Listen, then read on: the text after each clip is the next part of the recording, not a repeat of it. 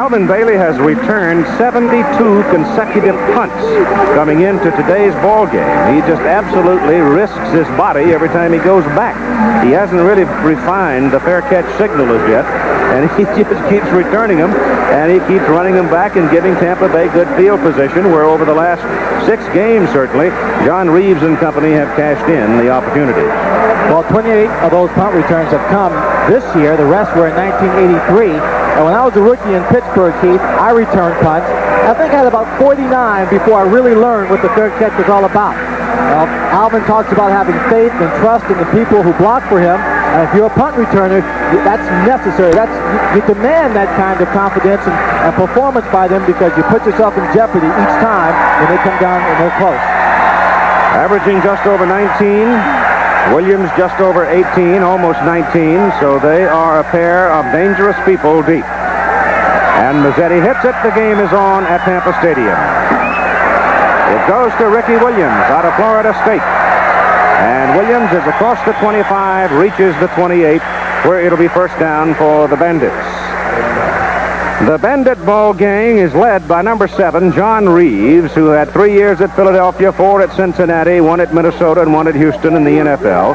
Gary Anderson and Greg Boone are the setbacks with Willie Gillespie. He's uh, a little gimpy today. And Eric Truvillion, the wide people. And the first snap of the ball will come from the hand of Chris Foot. And Willie Gillespie, as a matter of fact, is not out there. Spencer Jackson will start at wide receiver in place of Gillespie. He is a rookie out of Florida and a flyer. And Reaves will put it up on the first snap of the ball game. And he goes complete. Spectacular catch by Gary Anderson, who had moved out into a slot position from his I-back spot. He took a heck of a lick, and he holds on to it in the first down at the New Orleans 45. Well, we knew that Tampa Bay was going to come out and put the ball in the air. John Reaves, number seven, this is his 97th pass without an interception in the last seven ball games. Bruce Miller made him pay for it. And Anderson again swinging to the sidelines, makes the catch out of bounds inside the 41. They put it down on the 40 with Ben Needham knocking him down. Up front for Tampa Bay, this is the way they line up, and uh, we'll have to take a very quick look at it because Tampa Bay is going without a huddle. First down from the New Orleans 40. The Breakers show blitz. They hand the ball off to Greg Boone. And Booney out of Duke goes slashing down to about the 31. So Tampa Bay coming out moving the football. Well, Tampa Bay is wasting no time. They're coming out playing what people call a hurry-up offense or a two-minute offense without taking a huddle. They don't want to let, I think at this point, New Orleans get their nickel defense in and put the ball in the air consistently. It's another first down. Reaves gets it away just before he is clobbered. Pass complete to Eric Truvillion. Truvillion's inside. The 15, down to the 12. Another first down. Joe Restic made the tackle. And they're still going without a huddle, and your point is well taken, Swanee. They don't want New Orleans to get that fifth and maybe even sixth defensive back on the field. The only way that he could do it would be to call a timeout, but he can't do that with Tampa Bay sitting ready to go with the ball. And they give it off to Boone again, and Greg Boone coming outside with it. Goes to the five, down to the four. He picked up about seven yards, and Restic again makes the tackle with help from Ray Phillips. The New Orleans Breakers are playing a 3-4 off a defensive alignment, Keith. They like to bring in Junior IU when they're in obvious passing situation. He leads his team in sacks. He's number 77. But now they can't get him in the ball game to get the pressure on. But now they finally, just now, they've had a chance to get some defensive substitutions into the ball game. With Tampa Bay having the ball on the four-yard line. Actually, it's closer to the three. Ayu is now in. So it's second down. They can get a first down just at the one. Brodsky and Jackson, two wide receivers to the bottom of the picture. And Reaves rolls that way. Throws short on the goal line. Pass is complete. And it's a touchdown to Eric Truvillion. So just like that, boom, boom, boom, they stick it in the end zone.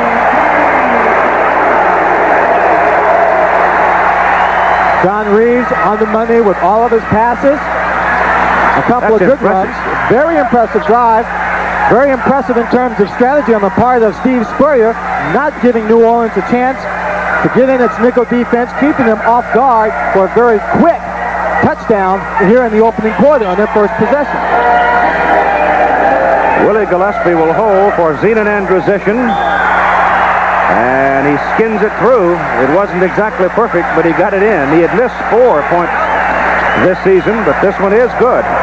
And so we show 12-17 to play in the first quarter, and the Bandits have jumped on top. Here's the three-yard touchdown play. It's a three-yard play with John Reaves rolling out. And here in Tampa, they talk about bandit football. Quick football, to put the ball in the air, prolific passing attack, using Gary Anderson on the ground, John Reaves pinpoint passing. Perfect example of what the Tampa Bay Bandits can do and what New Orleans has to stop if they have a chance, if they want a chance to win this ball game. Truvillion, the man that made the touchdown catch. Two passes to Anderson, two passes to Truvillion, and two runs by Boone, six plays. It's three yards and a touchdown. He came into the ball game the second leading receiver in the Eastern Conference, 57 catches and seven touchdowns, make that now 59 catches and eight touchdowns. And the New Orleans Breakers need to put up right now. But another thing that worries Dick Coury and his staff is that Tampa Bay has gone to a 4-3 front. They've managed to get Nordgren out of the position where in a three-man front he was being double-teamed a lot. And with the Nordgren and Butler in particular along that defensive front, they have really been playing some tough defensive football. Tony Good, number 31, is the deep man for the New Orleans Breakers. And Good will accept it at the six. That's a good run. He picked his way. He didn't overcommit left the blocking form and picked his way up across the 30 out to about the 33. So a good return by Tony Good. And here comes Johnny Walton and company now. Walton opening at quarterback. Had a rough seven games, really. The first five were terrific. Marcus Dupree will start at the I-back or setback position. Mark Chalene will be the fullback of the blocker. Charlie Smith and Frank Lockett are the wide people, and Dan Ross is the tight end. So Marcus Dupree gets the start today. That's Ross in motion, and Dupree has the ball. Cuts it up the field. Marcus Dupree goes for the first down. He hits the chalk right about the marker at the 44, and James Harrell, outside linebacker, brought him down. Well, Mark Chalene is 5'10 and 225 pounds, and he and Dan Ross combined for some great blocking on the outside to open it up for Dupree. Dan Ross came out of Cincinnati to play for this team as we take a look at the offensive line. Louis Bullard, Jerry Raymond, Mike McLaughlin, Greg Horton, Dan Hurley, and Dan Ross. It is a first down at the 44 of New Orleans. Tampa Bay leads 7 to nothing. If you just joined us, they took the opening kick off and went 72 yards. Set up a screen for Dupree. He's got to outrun number 75, and he can't quite do it. Walter Carter out of Florida State, a 250-pound tackle, ran him down, but still he picked up five yards on the carry, maybe a little more. The Tampa Bay defensive unit lines up with Butler, Carter, Nordgren, Clark across the front. Three linebackers are Harold Kirchbaum and Alonzo Johnson. And the secondary, Doug Beaudoin is back in there today with Jeff George, Zach Henderson, and Warren Hanna. Ball is just short of midfield now, and it's second down four for New Orleans. In their 10th win over Michigan last week, they used a lot of screens, a lot of passes thrown in the underneath spots, the short zone. This is Dupree again. Outside he goes takes on a tackler at the 45, moves down to the 43. He got a shoulder into Zach Henderson and rode him backwards.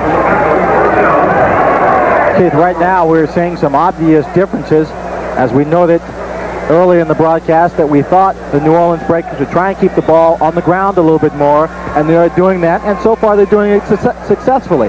The difference being that if they can keep the ball on the ground, grind it out, and put points on the board, they don't give the Bandits a chance to possess the football. But they scored in only 2 minutes and 43 seconds. Keep that in mind for the late goings of the ball game. First down at the Tampa Bay 43 for New Orleans. Smith goes in motion. That gives them a double wide top, but they go back the other way with Marcus Dupree. And Dupree is muscled out of bounds by Warren Hanna as he gets to the 41. He picked up two yards. Warren Hanna did a good job of reading that play, Keith. Everything was going to the right or to his left, and then the play, the ball was handed off coming back to his side. He didn't go for the fake, held his position, and was just outside the blocking, uh, the blocking in to knock Dupree out of bounds. Dupree leaves now, and Buford Jordan comes in, rookie out of McNeese State, and he's just as tough. Not quite as fast, but he is a slashing sort of a runner, and he runs for very well inside. Second down and eight. Jordan. They're running behind that left side of the line, and this time coming up out of the secondary, the free safety, Zach Henderson makes the tackle just across the 40. So there's a gain of a yard, and they'll be looking now at third and seven. Zach Henderson did a great job. He came out number 65. Jerry Raymond, the left guard for the Breakers, was leading on that play. He got underneath him, right into Buford Jordan to make the stop. Now on third and long, you go to the nickel defense for Tampa Bay.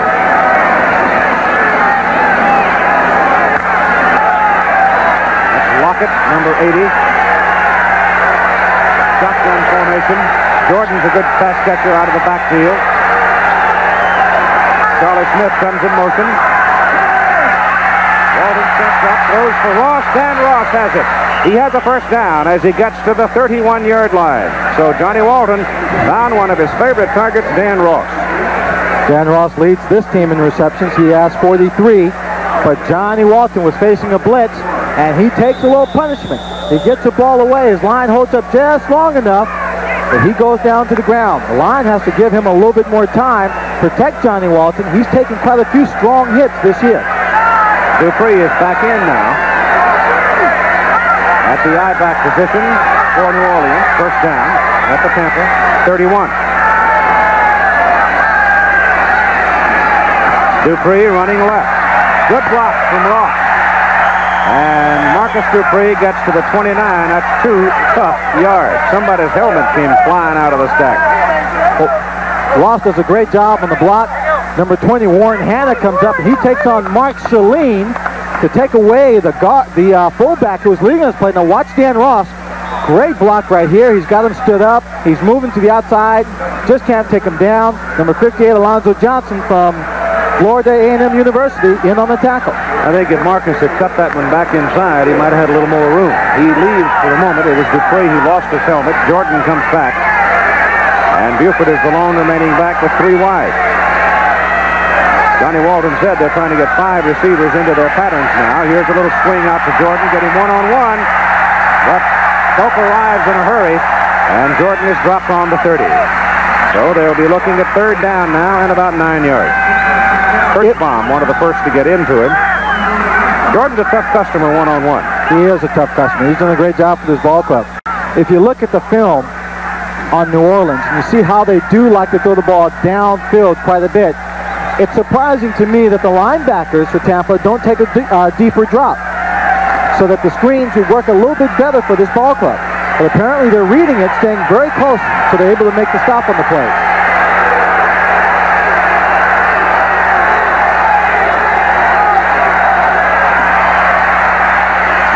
Walton's pass is deflected at the line of scrimmage. You've got a penalty flag thrown across the field. You may have a holding call coming here probably be refused and bring up fourth down.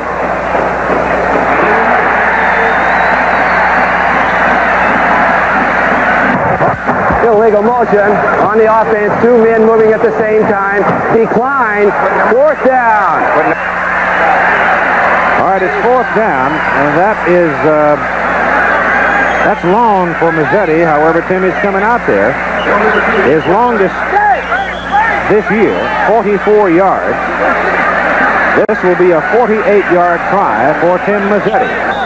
So the Breakers going to the place kicker, trying to get three points out of this possession. Nolan Sam gets it down. Mazzetti hits it.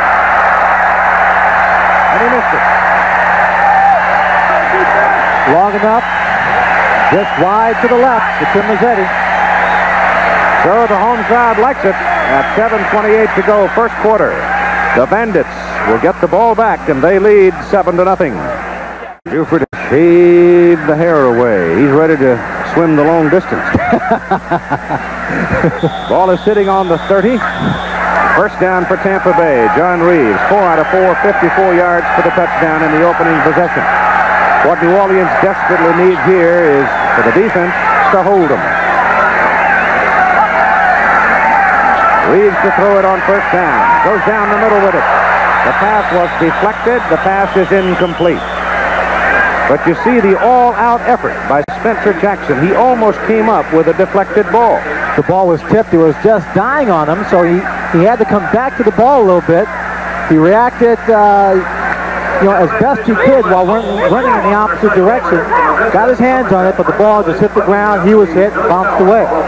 Here's a guy that I find enormously refreshing in professional football, Steve Spurrier.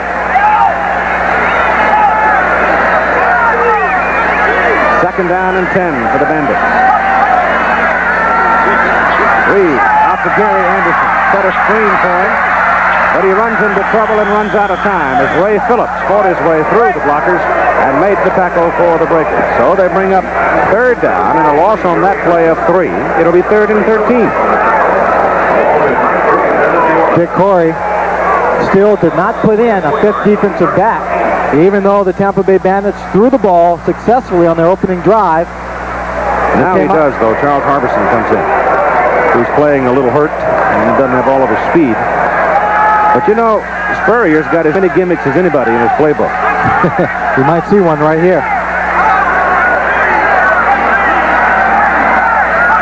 45% on third down conversions. Reaves and a drop. Good protection. Pass is caught by Truvillion. Truvillion eludes two New Orleans tacklers and gets the first down. The catch was all right, but the running was spectacular. He does not waste a lot of time slowing himself down, trying to cut back to the opposite side of the field. He takes this ball and this little delay coming across. And watch the one step to freeze, number 56, Marcus Marek. Then he cuts it in, inside, getting upfield, running straight down the field to pick up the first down. Ball is just short of the 43 for Tampa Bay. Or if they stick it in the end zone here, look out. Reaves again, goes to Truvillion. They've got him pinned on the sidelines, and he's out of bounds up around the 46. Ben Needham and Bruce Miller were out there defensively for New Orleans. Truvillion now has four catches in this ball game for 47 yards.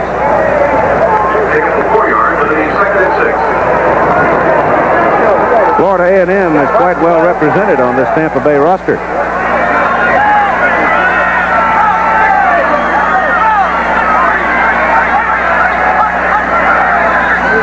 This is Greg Moon.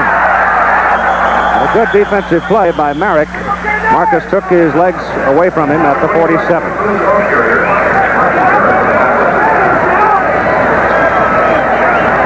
It's third down and about six. Houston jumping out to a 14-0 lead over Oklahoma. The Outlaws have run into some tough times, and Jim Kelly, woof, he's something. San Antonio 7-0 over Washington. Tough little football team, the San Antonio. Third and six for Tampa Bay.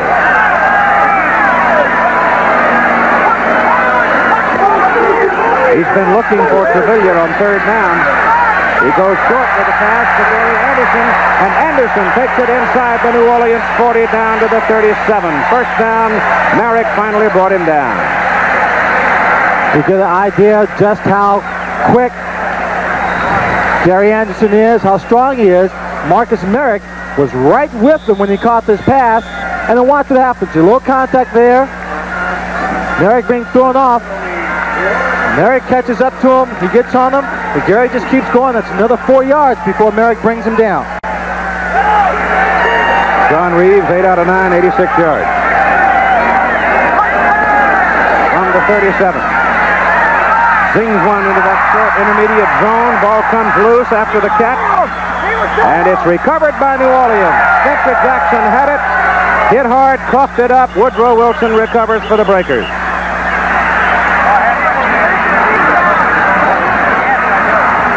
Uh, that's a big break for the New Orleans team. First turnover in the ball game. The receivers have been taking hits even though they have been catching the football. But now New Orleans has a chance to get themselves on the scoreboard and make this a tie ball game.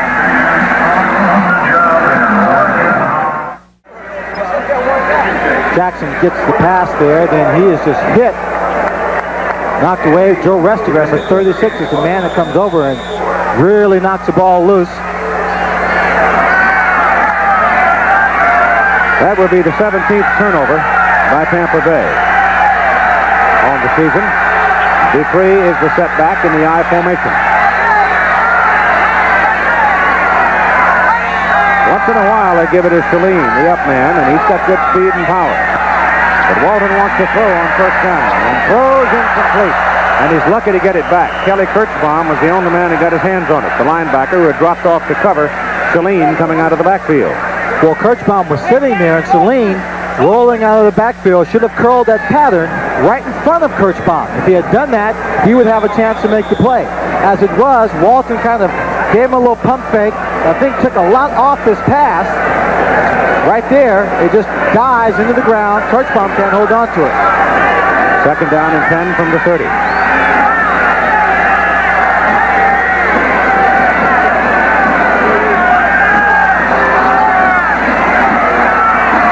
Draw play Dupree. To the 44. A yard short. of the 39, excuse me, a yard short of the first down. Marcus Dupree is like Herschel Walker in some ways that they're both kind of skate around back there and then all of a sudden, boom, they're gone. Yeah, and Marcus Dupree is 6'3", 240 pounds, and he's only 19 years old, but with his size, you can't tell how fast he's moving. He builds up quite a bit of speed, and before you know it, he can be by you. That time, though, Keith, he didn't really seem to come into that hole very quick. Third and one. Dupree is the setback. Jordan's up in the slot.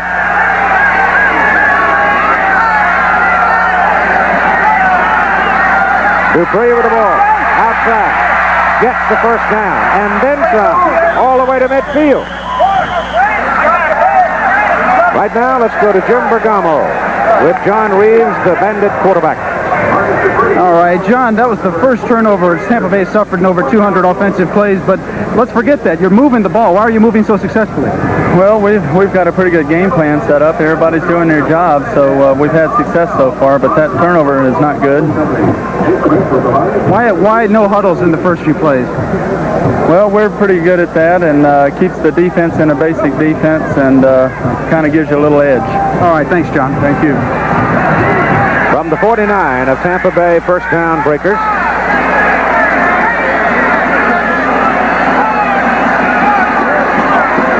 Walton goes down the sidelines. Lockett. Lockett makes the catch. Goes out of bounds. First down. Tampa Bay 18. First time he's gone deep.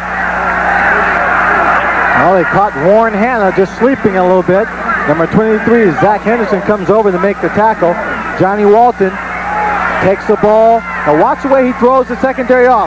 First, he fakes a pass, the uh, play, running play.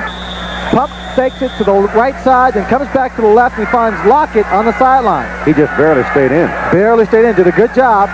Knew where he was on the sideline, out of Nebraska.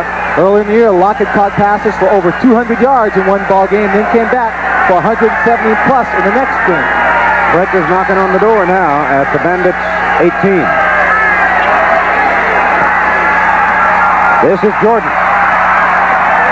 Penalty flag.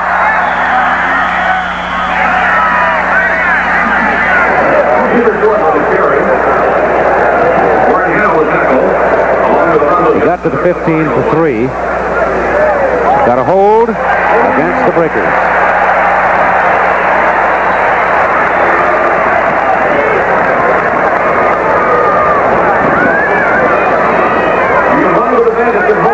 There the lineup of the officials for today's ball game and the definition of Abaddon Wilson. Number 72 on the offense. First down. Lewis Bullard, 280 pounds, and I said last time we did a New Orleans game, a guy that big ought not to be holding. You would think he wouldn't have to. New Orleans leads in the penalty category between these two ball clubs. They've had 83 penalties for 722 yards versus 67 for 554, 547 against Tampa Bay. Back to the 28 it comes. Work first down and 20.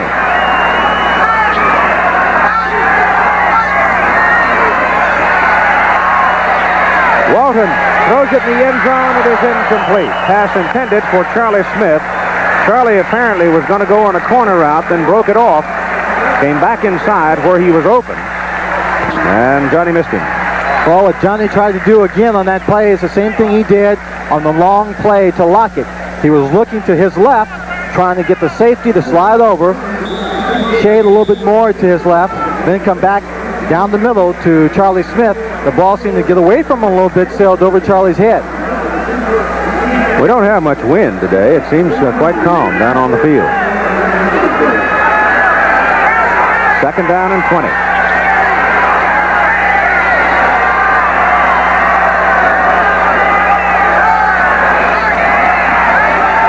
Dupree draw play. No, Jordan draw play. Marcus uh, out of the ball game, and Buford coming in, and Buford runs it down to about the 25, just inside. So New Orleans will be looking at third down and long.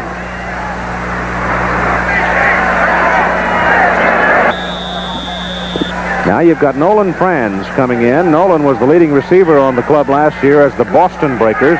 Injured, had trouble getting back into the starting lineup with the likes of Lockett, Brown, and Smith, Ross. But Franz is in now, and he's very good, particularly in the intermediate zone. Contact. Mike Butler and Dan Hurley pointing fingers at each other. Mike Butler was in the neutral zone, had come offside. No contact was Ball made. start. Number 62 on the offense. Well, it was Hurley who committed the infraction. No contact was made by Butler, and Dan Hurley stepped up to block the ball. Had the ball been snapped when Dan Hurley stood up, it would have been encroachment by the defense. But as you saw there, the ball was not snapped, so it goes against the offense. Backs him up to the 30, where it's third down and 22 now to keep the ball. This is their second possession. They missed a 48-yard field goal in the first possession.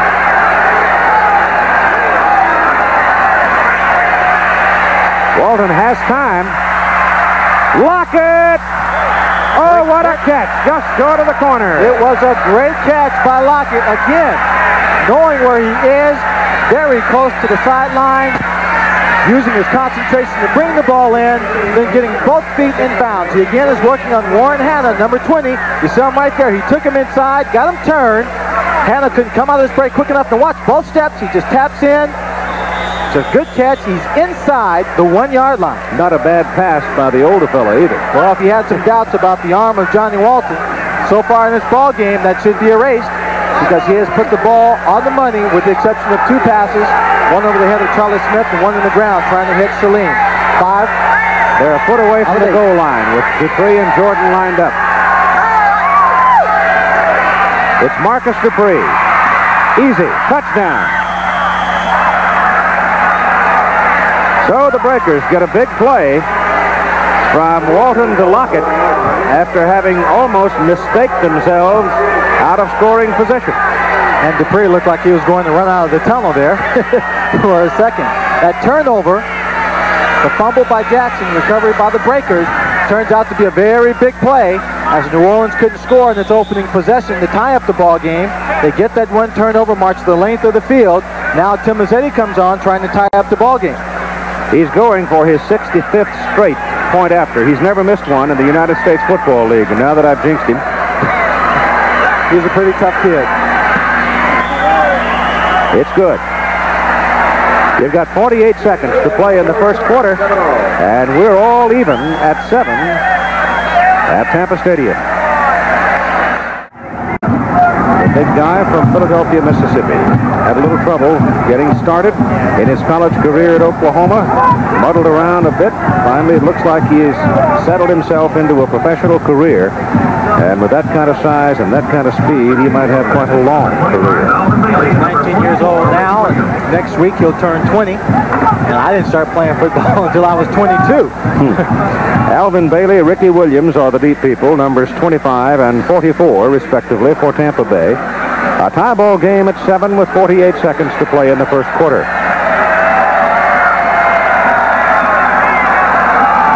Birmingham, remember, is already won this weekend. They are 11 and 2. Tampa Bay starting today at 9-3 and New Orleans at 8-4. Ricky Williams returned the last one for 23 yards. This time Mazzetti hits it better, runs Williams way back into the end zone, and he'll stay there. It'll be the Bandits' ball, first down at their own 20 on a very pleasant afternoon in the city of Tampa, Florida. The Bandits come to the attack now. 43 seconds to go at their own 20.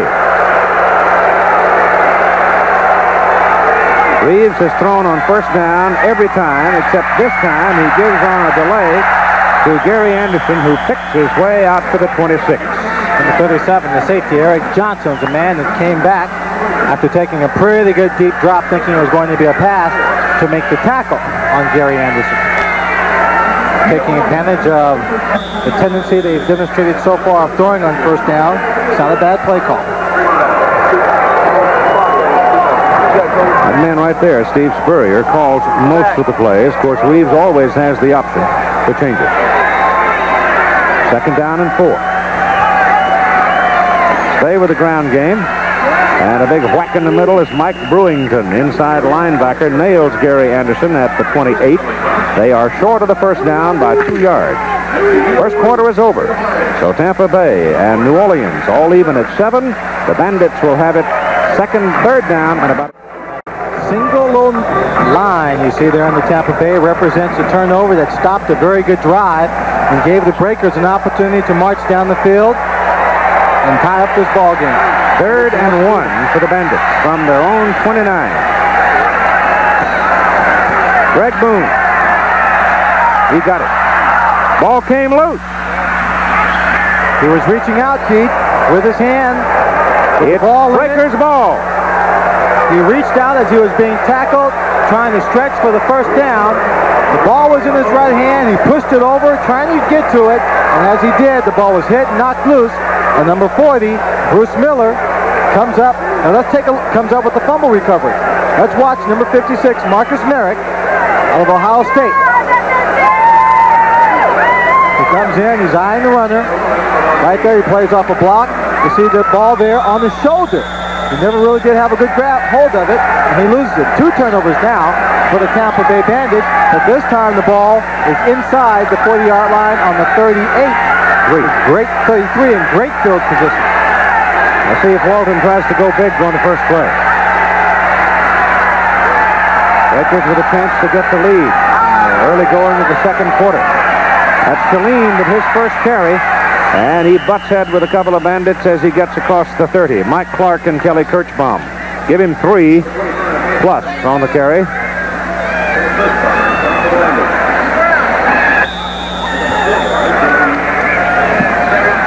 Lockett goes out and Franz comes in at a wide receiver position for the Breakers.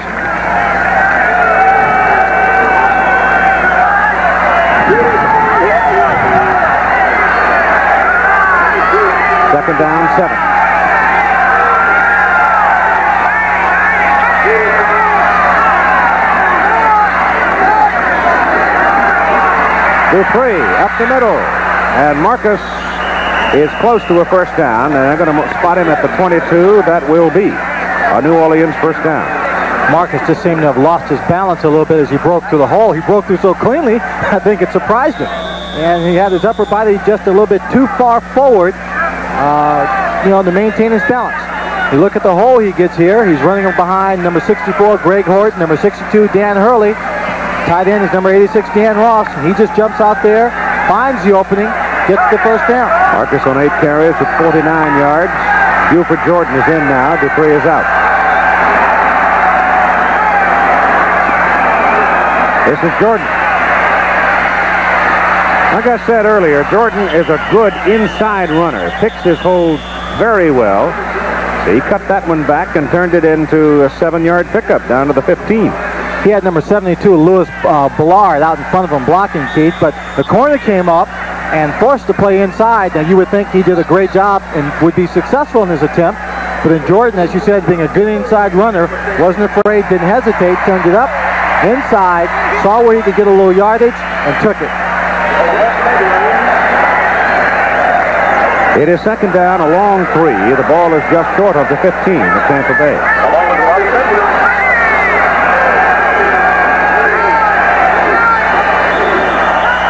Number 65, Jerry Raymond. Apparently, uh, Johnny Walton was checking off.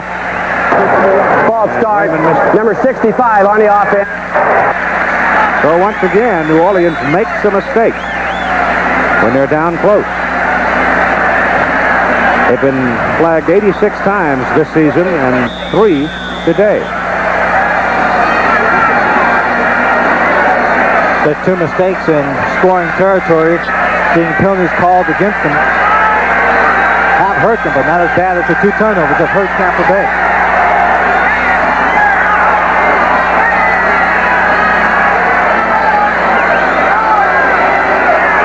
They hand it to Buford Jordan inside, and he is horse colored at about the 20 and falls ahead to the 19. Well, very often, the big guy that got in there, 77, Mike Butler. very often, Keith, you can tell when an offensive team is going to run a draw because the offensive line will take wider splits. Now that time, just before the New Orleans offensive line set themselves in position to block, they each on the left side to spread out a little bit more to give themselves a wider stance, trying to spread out that defensive team by their alignment. That time it just didn't work. Mike Butler was right there. And it's third down and about eight yards. Dupree's back in. A lot of traffic on that side. Marcus Dupree gets across the 15 and down inside the 14 where Zach Henderson will get credit for the tackle. And that'll bring up fourth down and about two. And here comes Tim Mazzetti. And this is a more reasonable distance for Timmy. Certainly is.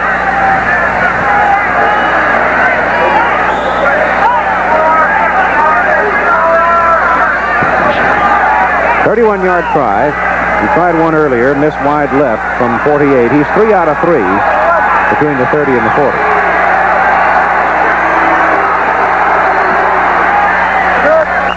Good.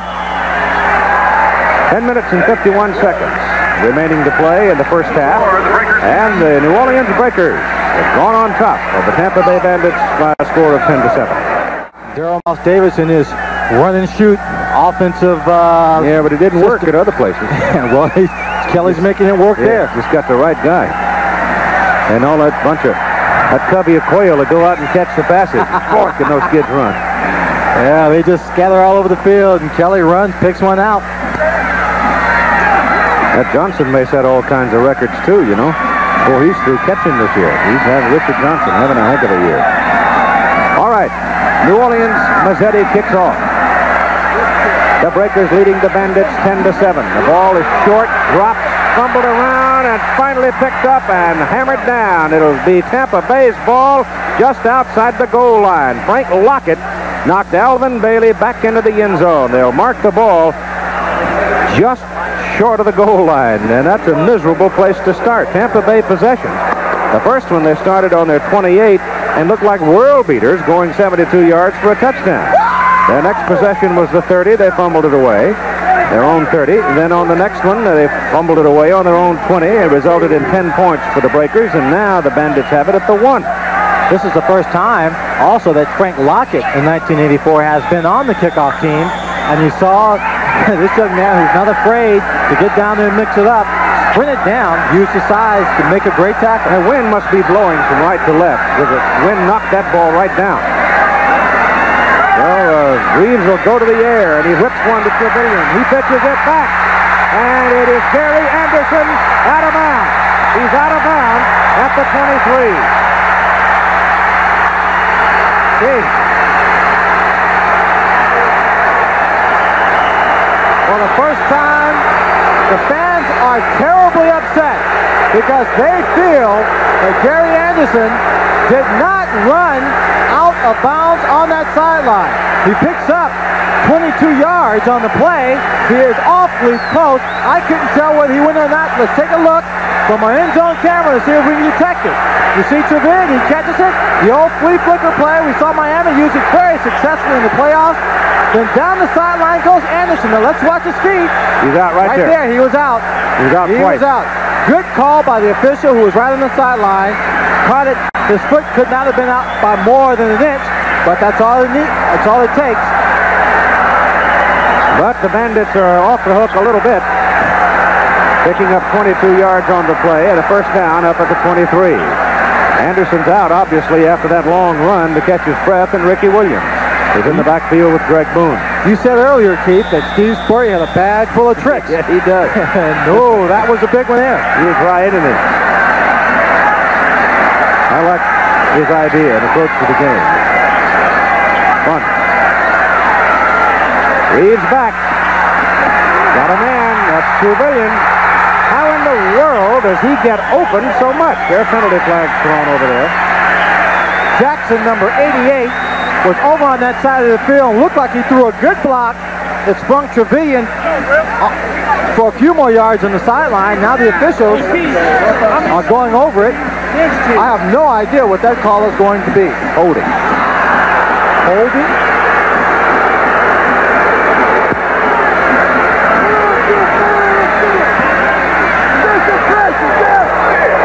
Well, the Bandits make a lot of mistakes here in this first half. On the offense. First down. He didn't say who that time. Only person I saw there was Jackson, number 88. You see him talking to Spurrier. He's complaining to him. He says, I didn't do anything. Well, the spot now is brought back to the 27, where the ball's put down. Where can it be first down and six? This is Ricky Williams, one of Bobby Bowden's youngsters out of Florida State. And he keeps on wiggling around and picks up a first down for Tampa Bay. Let's spend a moment with Jim Bergamo now with Johnny Walton. All right, Johnny, uh, not only is Tampa Bay giving you a couple turnovers, but uh, you said on the touchdown drive that they were cheating a little bit and giving you an opportunity on that play. Yes, I think the tendencies of our team would be to go to the two receiver side most of the time. So they have been compensating by sending more defend- defensive backs over there. So what we're trying to do now is try to exploit their areas of weakness, and that's going to Frank Lockett, who is on the one receiver side. All right, thanks, Johnny. Appreciate it. From the 35, Reaves shoots it down the middle. Big play. 87, tight end, Marvin Harvey. Out of southern Mississippi. And it's a first down. The ball marked at the New Orleans 49. Well, the Tampa Bay Bandits came into this ball game with four receivers in the top eight. Harvey comes in with 46 catches, just a simple little pattern coming over the middle against the zone, getting underneath the safeties. Reaves had time to throw, wait for him to get open before number 36, Joe Restic, to come in to make the tackle. It's got to be frustrating to be a defensive back playing Tampa Bay, doesn't it? Here's Reaves throwing again. And this time he was looking for Truvillion, and Eric had gone inside, taken a chuck, and could not get back to the outside where Reaves threw the ball. That little chuck just threw him off his timing, Keith. And you saw that Reaves put the ball on the sideline where if he had not been slowed up, he might have been in position to make a good catch along the sideline.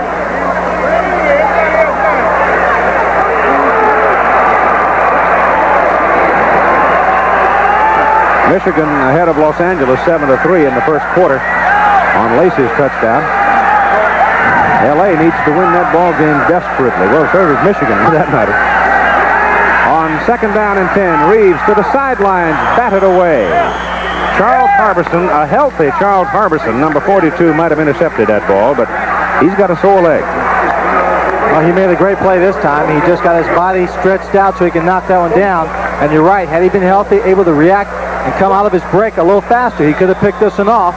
He was still in pretty darn good position if he had gotten his left hand up and really had gone for the catch. But all too often, the defensive back, instead of going for the catch, will just try and reach out and knock the ball down. They don't think in terms of always picking it off. Third and 10.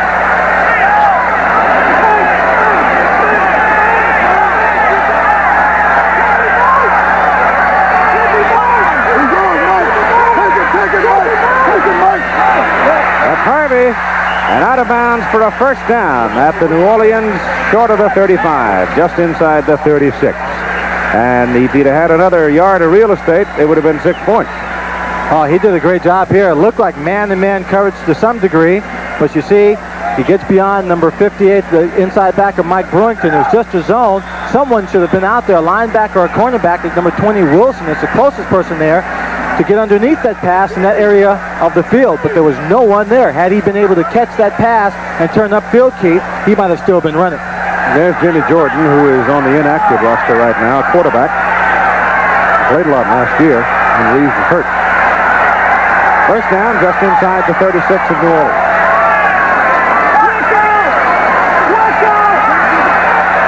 Trying to set up a screen and trying to get the ball to the running back, Anderson. And it looked like the ball was slapped down. Gerald Baelish, number 60, who started at nose tackle and is playing there for New Orleans today because of Jeff Gaylord being hurt. He came busting through and went right past the center, Chris Foot, or, or either one of the guards, Newton and Pitcock, trying to set up that screen. You have to slow him down just a little bit. Second down and 10.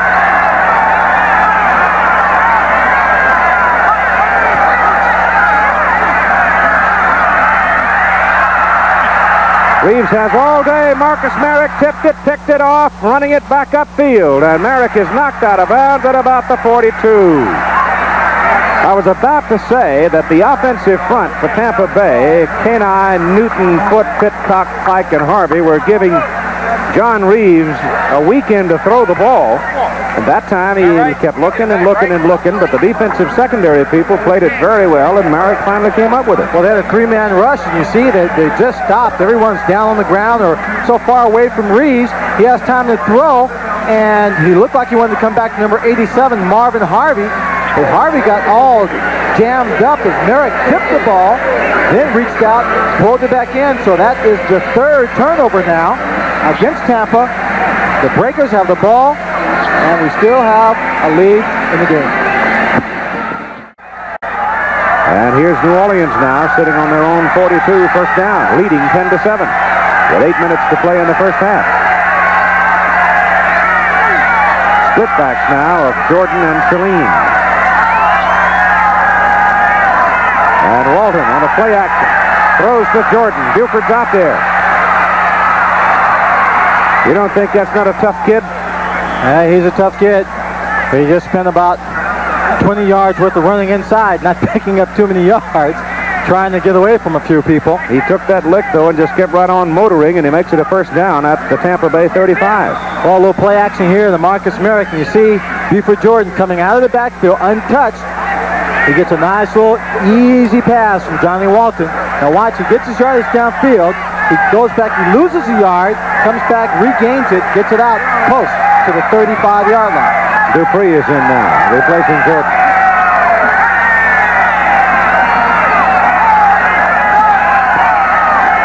Dupree's got the ball in traffic. Two yards. Jim Bergamo now with Marcus Marek, the man who made the interception. Dupree is hurt. It's, because of the turnovers. You keep coming up with the big play. Last time we played Tampa Bay, we had four turnovers in the first quarter. We didn't capitalize on them. You know, we just want to get our offense the ball. We're getting hot today, and, you know, we're going to have to play this defense. We want to make the playoffs. All right. Thanks a lot, Marcus. Marcus Dupree is down, and uh, the way he was down, it looked like uh, about a half a ton of humanity fell on top of Dupree, and Dupree fell on top of the football. Well, he got hit and stopped, but he was still on his feet. And then, as we take a look at it here, then as he tried to just use his weight and his strength to uh, go forward, just leaning, you'll see he's hit by several other tacklers. Now, right there, there's only one person there. He's trying to go forward. Right there, he's hit from behind. Number 77, Mike Butler is one of them in there. Number 20, number 28, Doug Beaudoin. The safety came in and also put a lick on him. I think it just deflated him. When you go down in football, it will squeeze the wind out of your body. Well, the shoulder pads usually come down over the chest area, but they don't always cover the sternum. Just right where those ribs connect, and there's that little spot, the little V it forms right above the stomach. If that football gets caught there, and you go down with your weight, and Dupree is 225, 240 pounds, then the weight of those people on top of you just squeezes all that air right out of your lungs. He picked up almost three yards, so let's call it second down, a long seven. Jordan comes back in.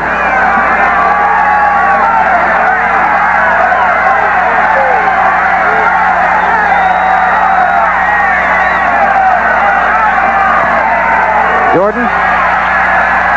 Pretty good trap blocking up the middle for Buford Jordan. He crosses the 25 and reaches the 24, close to the 23, and that should be another first down for the Breakers, and it is.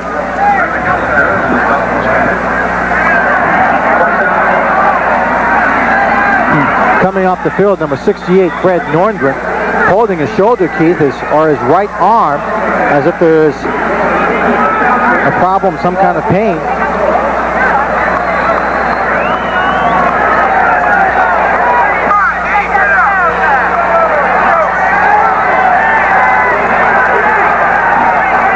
First down from the 23.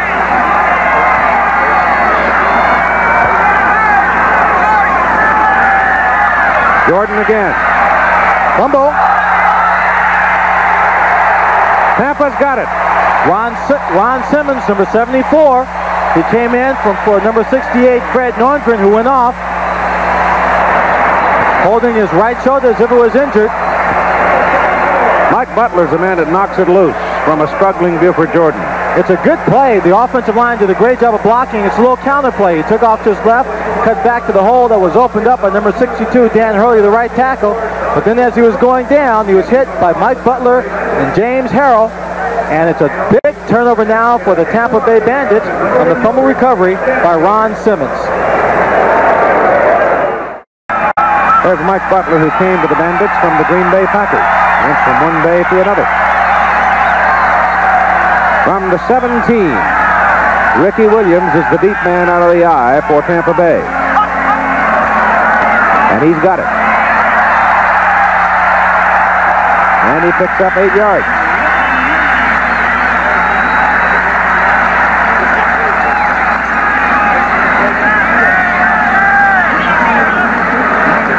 Jimmy Jordan, reserve quarterback on the headset upstairs, and passing on the information from the coaches there to the head coach, Steve Spurrier, who then wigwags the information into John Reed. Second down, two.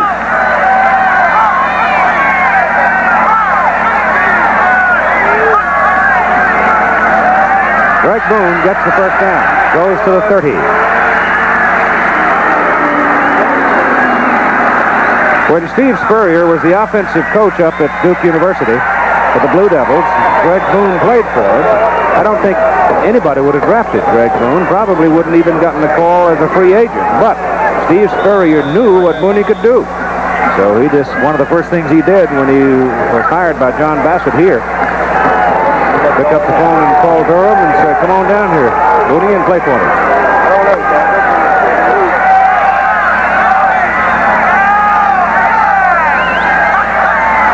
First down. And John Reaves swings the pass out to Ricky Williams. Williams has got a problem. I think Reaves probably wanted to go downfield with it. But his secondary receiver was Williams, and they turned what appeared to be a loss into about a two-yard pickup. I think we've lost Lynn Swann's microphone here for a moment. Save your pearls of wisdom.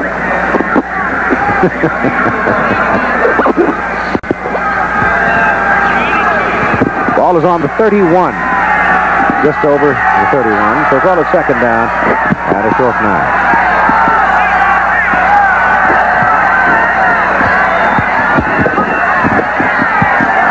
Reaves throwing. Williams. And he's just short of his first down. Ben Needham got him by the coattail and held him up just short.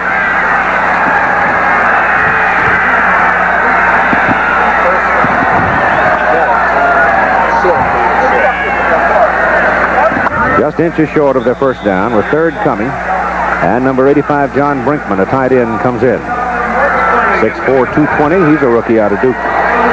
Okay.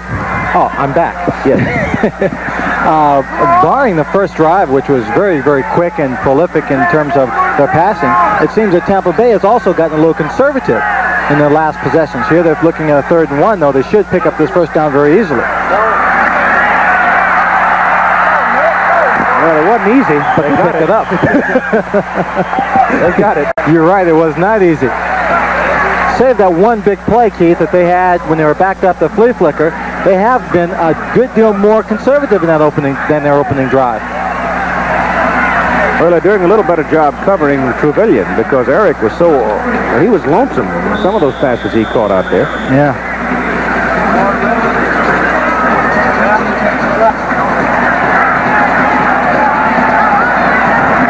Could also be the, for the first time that Reaves has been intercepted in over 100 passes.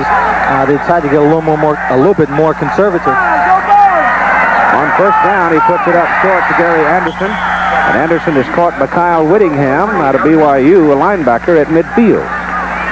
So there's a pickup of about uh, seven yards.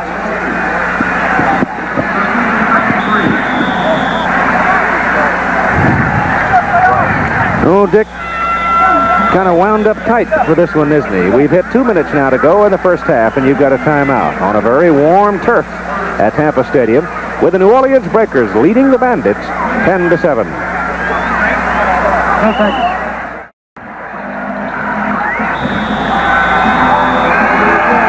The Tampa Bay fans love their Bandits.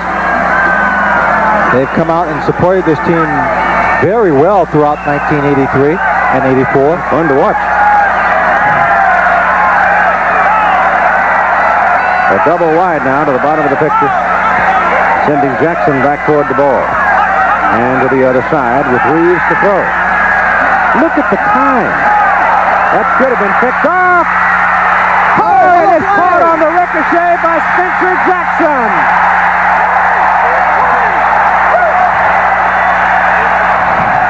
It's off the hands of the interceptor. Truvillion had it knocked away from him, and Spencer Jackson, who had come all the way across the field, caught it on the rebound. Jackson had gone in motion at the beginning of the play and was on the far side of the field. That was not, Keith, a very well-thrown pass on the part of John Reaves. He gets all the time in the world. This ball is high, and there are defensive players in front of this, the receiver at this time. You see there. Goes up, pops up in the air. Truvillion goes up again, makes a catch. It bobbles, and there is Jackson. That, Keith, is something that is also coached in terms of the receiver being in position. We'll talk about that later. First and goal on the four. This is Boone. And Boone is knocked out of bounds at the two, just in, just short of the two. Well, actually, the man who should have caught that football is Garrick Chase, the cornerback, number 45. Now watch, he's the one who has the best chance to catch it. Well, this is Boone coming in the outside, just running hard. Looks like he was pinned up against the sidelines. He steps out of bounds.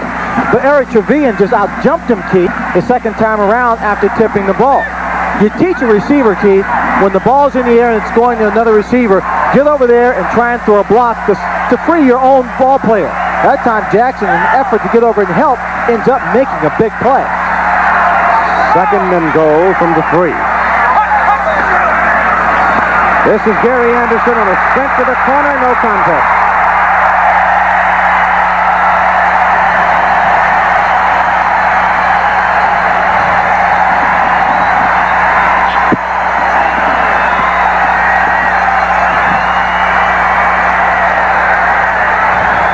The Bandits are almost mistaking themselves into a big deficit at halftime, have suddenly come up with a lucky break and jumped out to a lead now of 13 to 10 with Andrusyshyn trying to make it 14. Uh, Gary Anderson out of Arkansas here.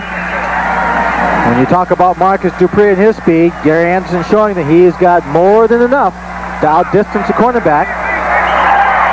Kick is good. Minute and 39 to play in the first half.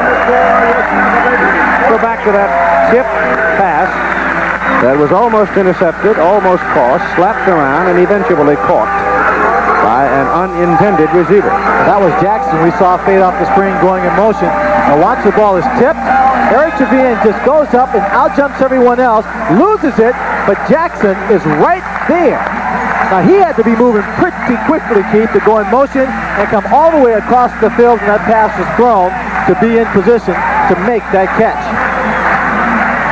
139 to play in the first half, and it's 14-10 Tampa Bay.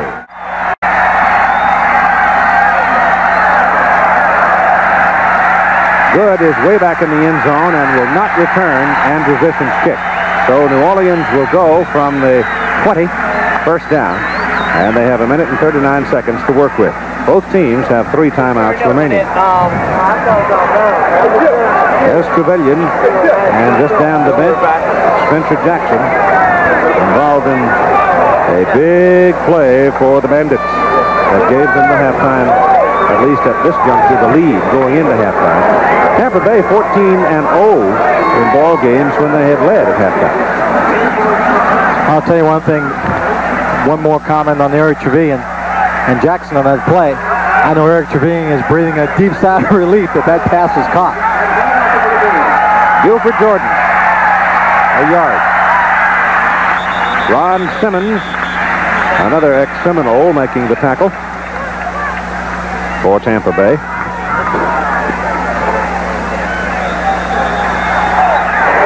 Going without a huddle. Clock running.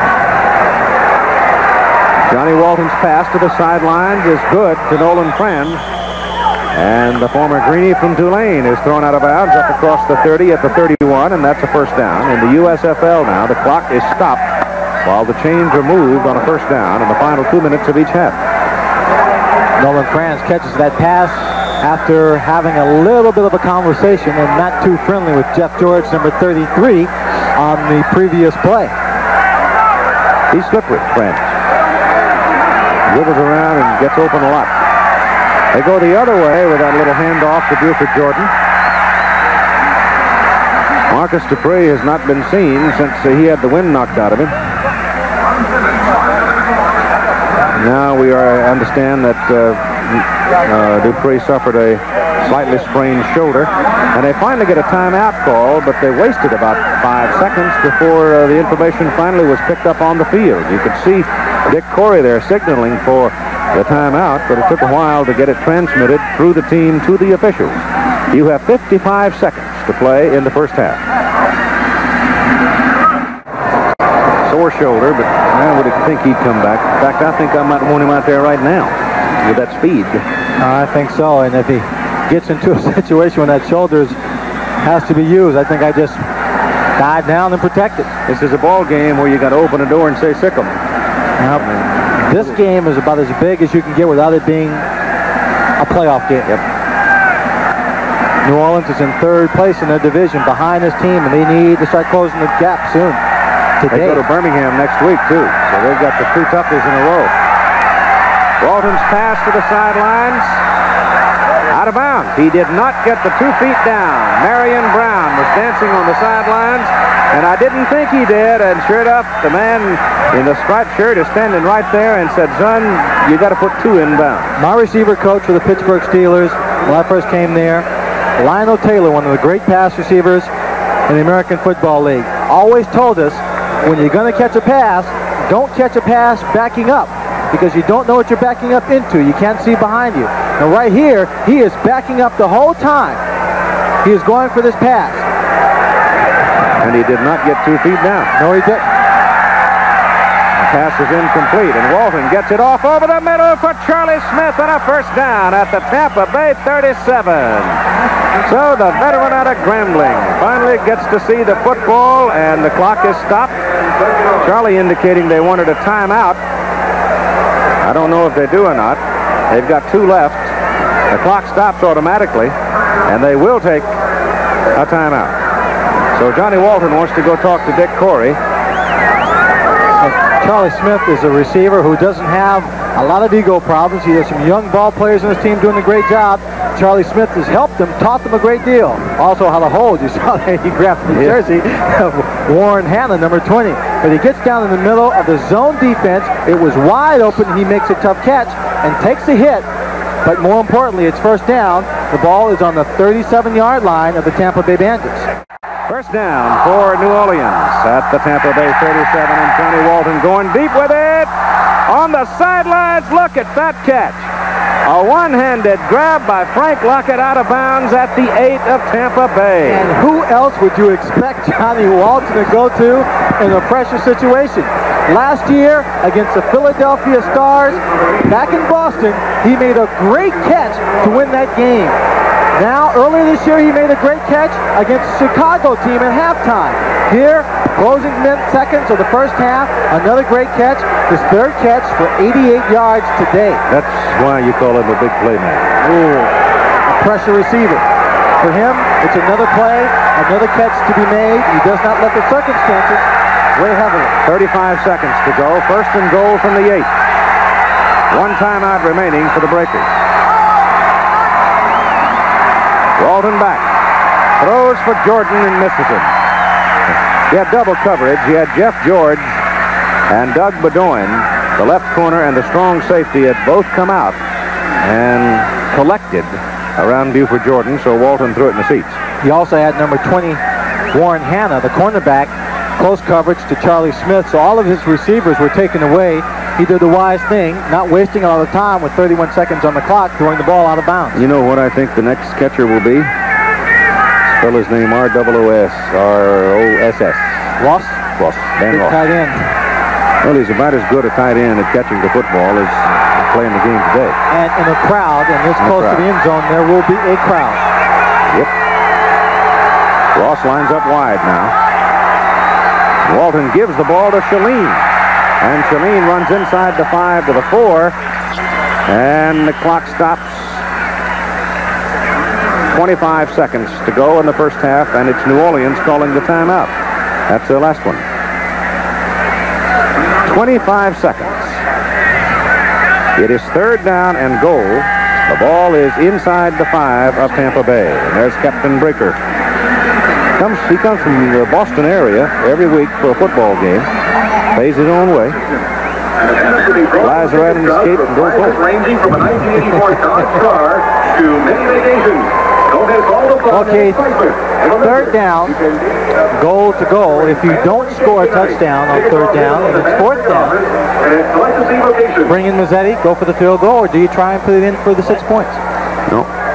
I go for any point I can get here. I take the field goal. Take the field goal. You betcha. I agree with you.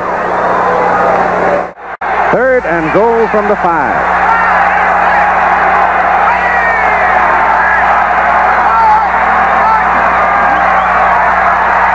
Pass. Caught. Charlie Smith hits the corner short. The official says he did not go behind the end zone, the marker that's on the lower right corner of the end zone. Now I got to go for it because you're only inches away, right? Fourth down, and you're just uh, half a yard away. Lead. Uh, that's one. That's those are the decisions they pay a coach for. Watch Charlie Smith. Let's see if he gets in. He looks close. No, he goes out. Just outside the end zone marker. Marcus Dupree is in. Guess who's going to get it? Fourth and goal from a half a yard for the lead at halftime. Dupree over the top, touchdown. And New Orleans has gone back on top. Eighth touchdown of the year for Marcus Dupree. There are only three people, four if you count a defensive back, that lined up behind the defensive line on the left side of the field when that ball is snapped. Everyone else is lined up to the right of center, thinking, anticipating that they would come to the right side. Instead, they went right over the center and the left guard. Dupree got up in the air, easily into the end zone for the touchdown. Pretty hard to stop 240 pounds falling down, you know. Kick is good.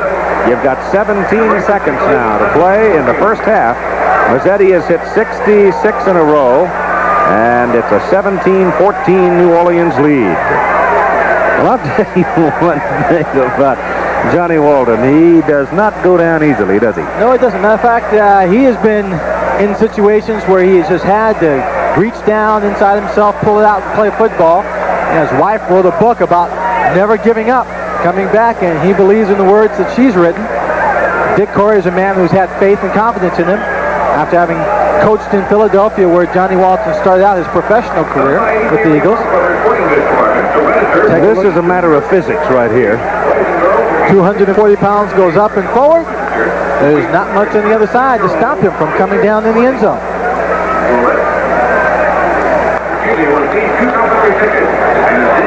Sore shoulder and all. Yeah, little sore shoulder doesn't bother anybody. Ah, he's a young kid. He's only 19 years old. He can shake it off and come back. Joe Greene told me, you know it's time to retire when it's Saturday night and you're just getting over the pains from last Sunday's ball game. right, I was going to say, in the young days, you got out of bed and were hopping around all right and going to practice Tuesday, but when you suddenly realize it's Thursday before you put on your shoes, you know it's getting on. Heck, when you're young and you're really good, you can run around on Monday. That's right. You did. Not long. That's a difficult ball to handle, and uh, the Bandits are going to let it go through the end zone. And they'll have a couple of snaps coming to them with 17 seconds to play in the first half. 17-14. Seesaw back and forth. Both teams making some mistakes, but uh, Tampa Bay has made the greater number of the mistakes and uh, directly leading to 10 of New Orleans' 17 points. Well, this so far in the first half has been the close contest that we have anticipated. It was supposed to have been. Certainly, New Orleans not playing as poorly as they did against Philadelphia a few weeks ago where they were shut out 35-0.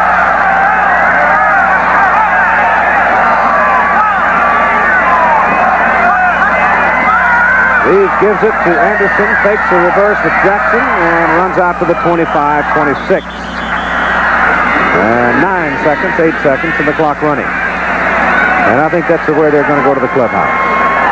Tampa Bay not calling timeout. So the first half is over. The football game at Tampa Stadium with the New Orleans Breakers leading the Tampa Bay Bandits 17-14. Back with halftime activities after this commercial and a word from our local station. New Orleans will have first possession of the second half as Zenon Andrusyshyn prepares to kick it off to Tony Good. Tony is 5'10", 200 out of Southern University, a rookie.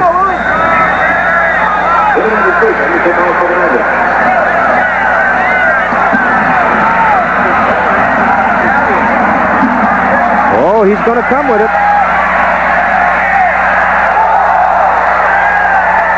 Just when it looked like he might have a swinging gate on the sidelines, door closed in the name of John Benson.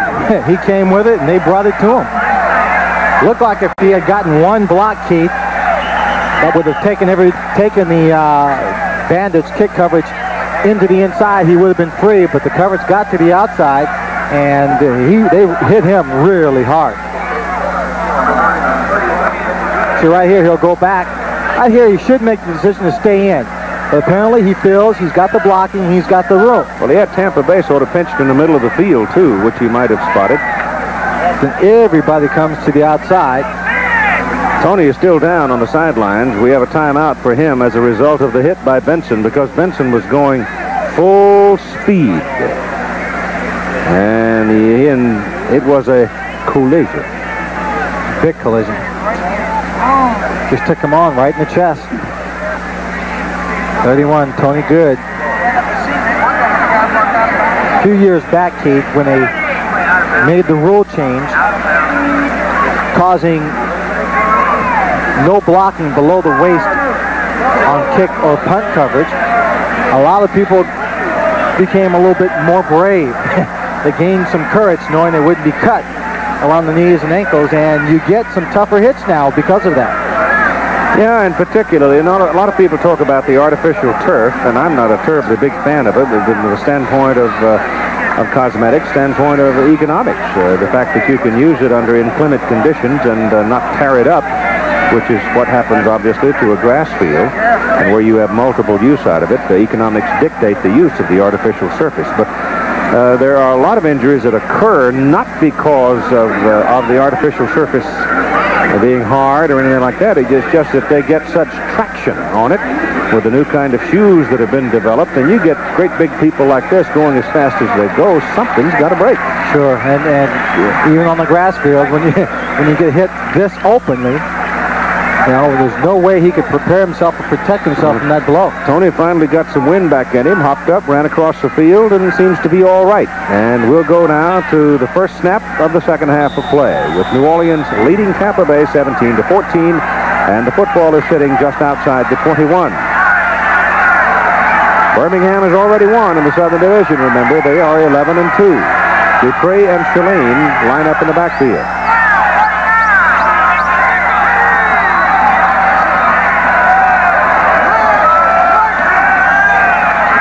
Dupree fakes the handoff, keeps it, caught behind the line of scrimmage. That's a heck of a defensive play by James Harrell, number 50. Played five years with the Detroit Lions. Came out of University of Florida. James Harrell made a, a great play here. Number 23, Zach Henderson, is a safety who was being taken out by Dan Rosser just to the top of the screen. Harrell just grabs hold of Dupree and is not going to let him go anywhere. Fred McAllister came over and finished him off. Loss of a yard, second down, 11 for the Breakers. Dick Coury's uh, plan was to run about 40 times and maybe throw as many as 25. He's pretty much on that schedule, too, right now. Jordan lines up now in the I-back spot.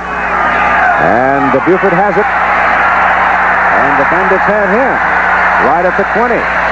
Mike Butler pinched inside and nailed him down. Buford came into that hole, and there wasn't really much of a hole for him to get into. It was bunched up on the inside, and it looked like there was going to be a hole to the right, just to the outside, but the number 77, Mike Butler, out of Kansas, just came rolling in there, thundering in there, and met Jordan head on. Now on third and 10, you figure that.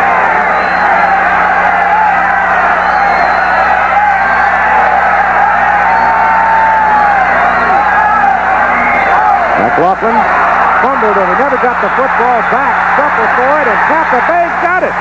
When Mike McLaughlin, the center, tried to snap the ball, he lost control of it. They rolled around on the ground, and Tampa Bay's Kelly Kirchbaum jumped on it. My gosh, I've seen everything, I think, in this ball game, and we're just starting the second half of play.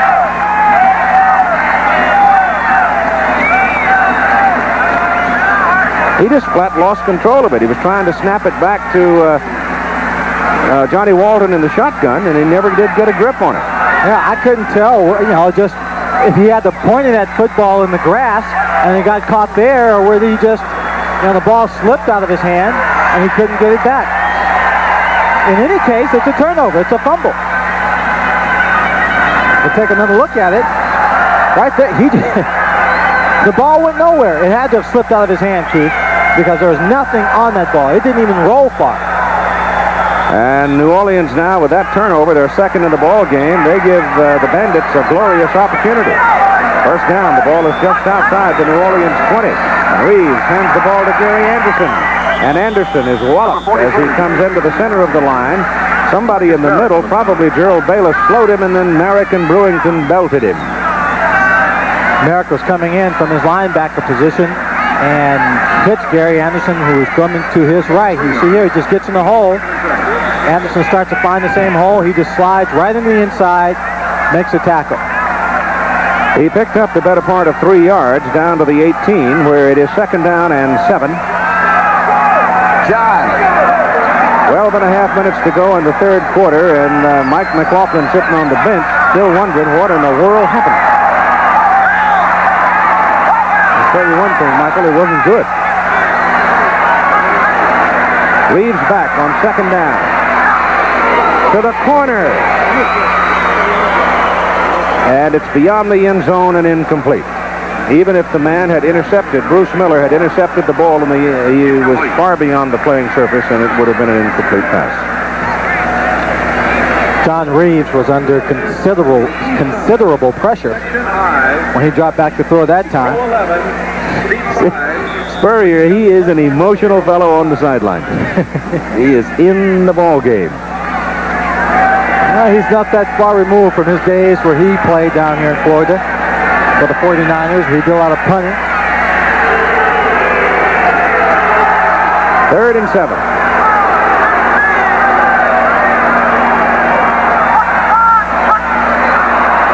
penalty flag. Reeves pass caught inside the 10 by Larry Brodsky, and I think New Orleans may very well have been offside. Looked like Michael Robinson had tried to anticipate and got caught in the neutral zone. And he just couldn't get back in time. A free play for the Tampa Bay Bandits. They take advantage of it. I'm sure they will refuse the penalty and take the reception. It'll be a first and goal. Offside, number 92 on the defense, declined, first down. First and goal Tampa Bay at the New Orleans 8. Also after a great closing series to get another touchdown at the end of the first half, they come out on the opening drive, cough up the football, or shall we say, roll up the football. Now they're in trouble. Reeves now 18 out of 24 for 235 yards. Probably checking off here on the long call. And it's Anderson. And Gary's close to the five. 43, Gary Anderson.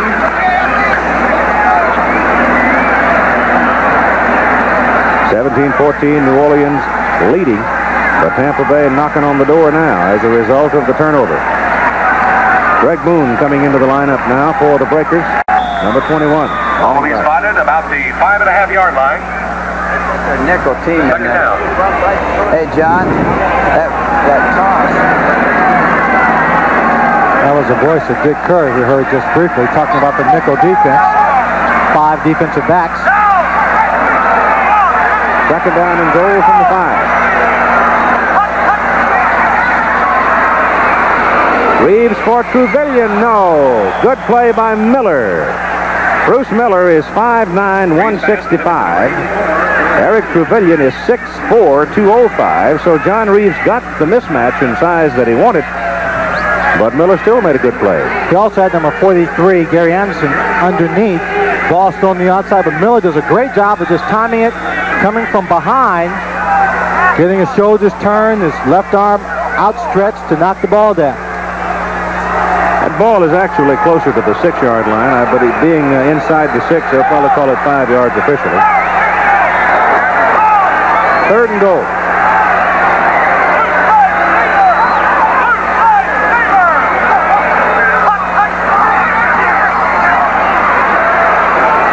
Reeves in the back of the end zone. He had Spencer Jackson wide open and missed him.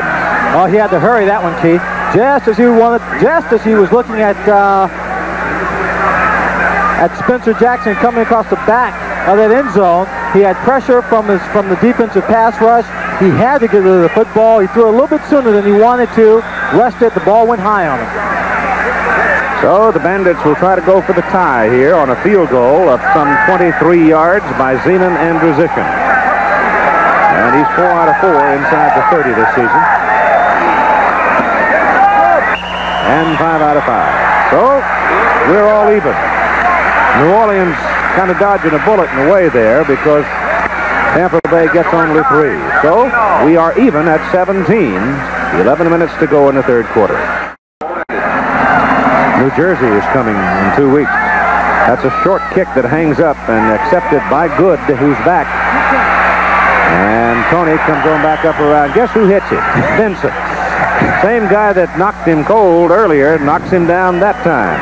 Tony gets back to about the 22-yard line with 10.58 to play in the third quarter.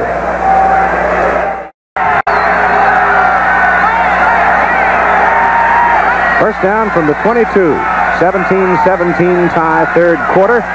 And this is Buford Jordan. Wacko fumbles the football, and the Bandits have it. But there's a penalty flag. Let's see about the penalty.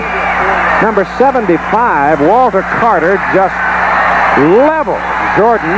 The ball came loose, and Warren Hanna covered it. And the penalty is against New Orleans, and for the second time in a They a row, personal foul. Illegal trap-back block on number 80 on the offense, which will be declined. First down. so in successive possessions, they have turned it over at the 20, and now up at the 30. Well, Dick Coury came in here into the stadium wanting to control the ball, not to make the mistake, possess the football, and as you said, two turnovers, two fumbles. The ball just pops right out of Buford Jordan's hand, right out of his arm, into a pile of Tampa Bay ball players.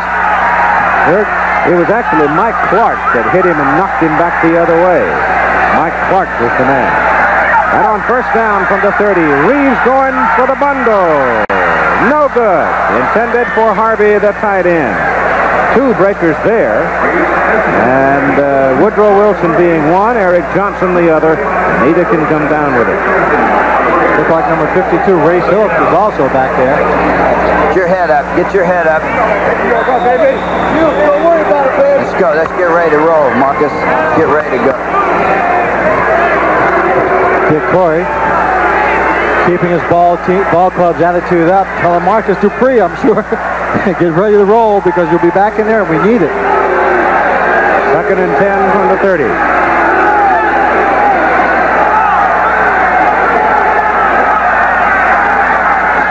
Reeves staying with the air.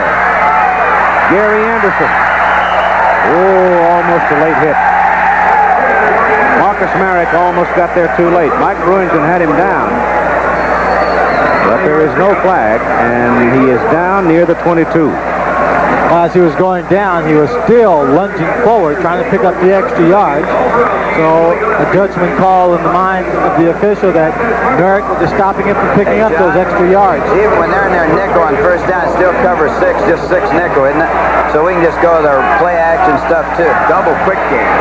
Dick Coury trying to get organized for the next offensive series, hoping his ball club won't turn it over. There's a handoff to Greg Boone, and Boone just roaring over the right side. Number 60, Gerald Bayless, had a shot at him behind the line of scrimmage and missed him. Now, Greg Boone is the only man that I know of, Keith, that when he hears boos, he feels good. Fans around here, every time he carries the ball, they yell his name, and it sounds like they're booing him. It's a first down, Tampa Bay at the New Orleans 18. Junior Ayu checks in to the defensive front. They give the ball to Boone.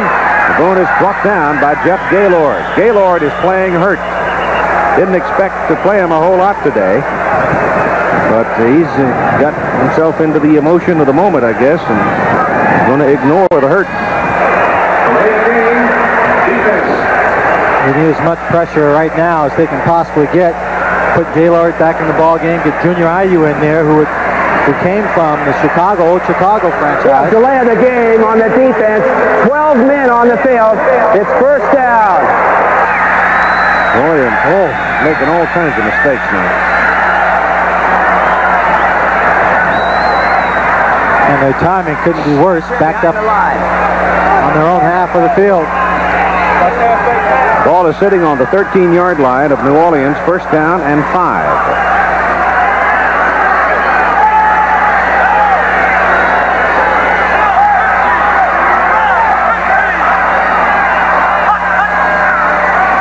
This is Gary Anderson, big hole. To the five, to the four. Joe Restic making the tackle. But a great job by number 64, Chuck Pitcock, coming across, opening up the hole for Gary Anderson. He takes the ball, looks like just a little run back to the other side. Right there was a block on number 52, Ray Phillips by Pitcock.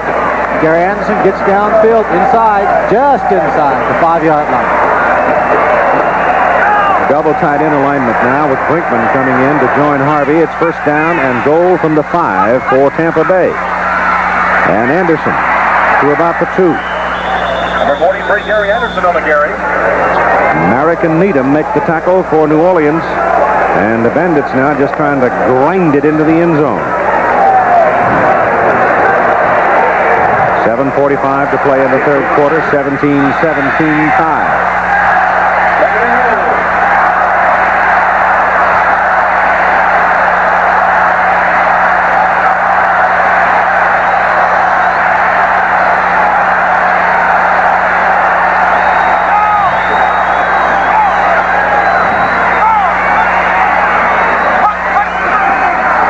Anderson. Touchdown.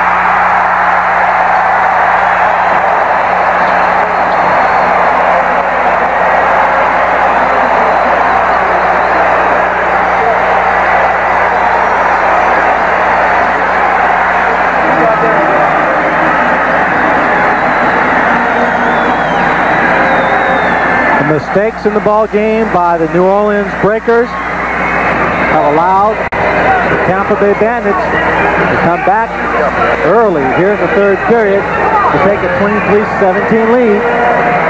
And transition for the extra point. Out of Gillespie's hold.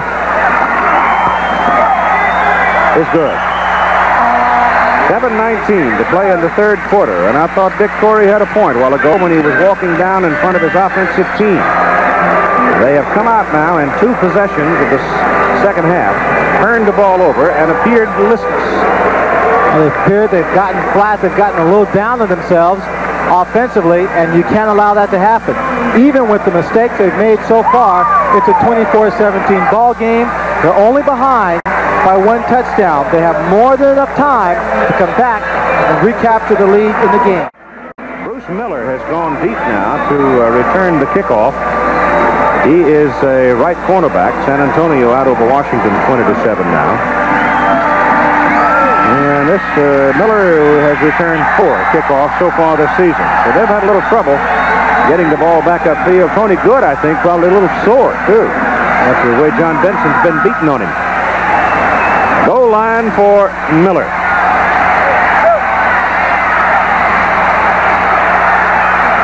Pretty good job by Bruce. Comes back to about the 23. So now it's up to the New Orleans offensive unit to try to get something going. They've done nothing in the third quarter. Two possessions, two turnovers.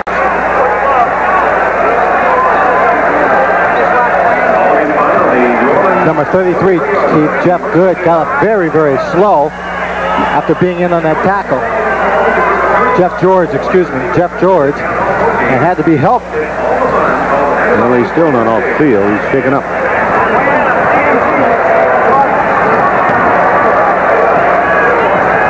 And the players taking up on the play.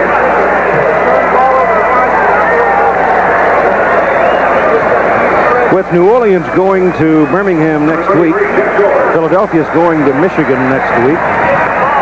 We've got a succession of important games to be played over the next five weeks. Uh, New Orleans uh, finishing schedule is really rough. They're playing Tampa here today, play Birmingham at home uh, next week, then they have Memphis, then New Jersey on the road, and Jacksonville and Washington. It's first and 10 for the Breakers. They trail 24 to 17.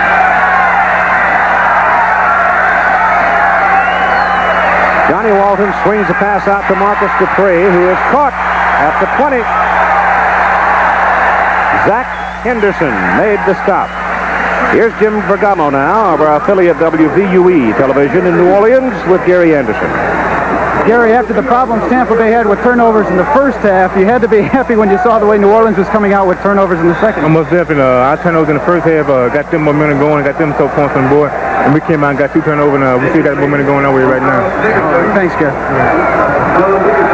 Young man from Arkansas, played for Lou Holtz. Second down 13, loss of three yards on the screen, attempted screen. This time they run Dupree around the corner. Oh boy, look at this. It takes three of them to get him at midfield. Boy, you run that play, you, you look like you have him stopped behind the line of scrimmage. He was only a foot away or so, a foot away, uh, Keith, from about three people who could have made the stop. I saw O.J. Simpson take this play against Pittsburgh and run it 88 yards for a touchdown. Straight up to the line, you freeze everybody, then you break right or left, and becomes a sprint. He straight arms number 20, Warren Hanna right there. He's going down the sideline. Looks like he's got some room, but number 23, Zach Henderson comes over and makes the saving tackle.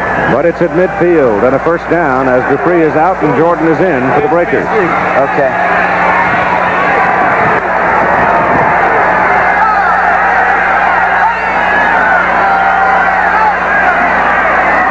Jordan trying to go the other way.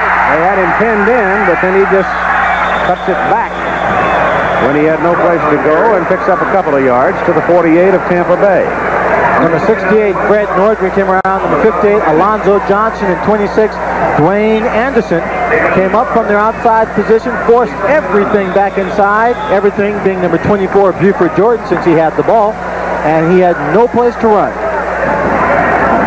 Second down and eight. Smith and Lockett now line up at the bottom of the screen.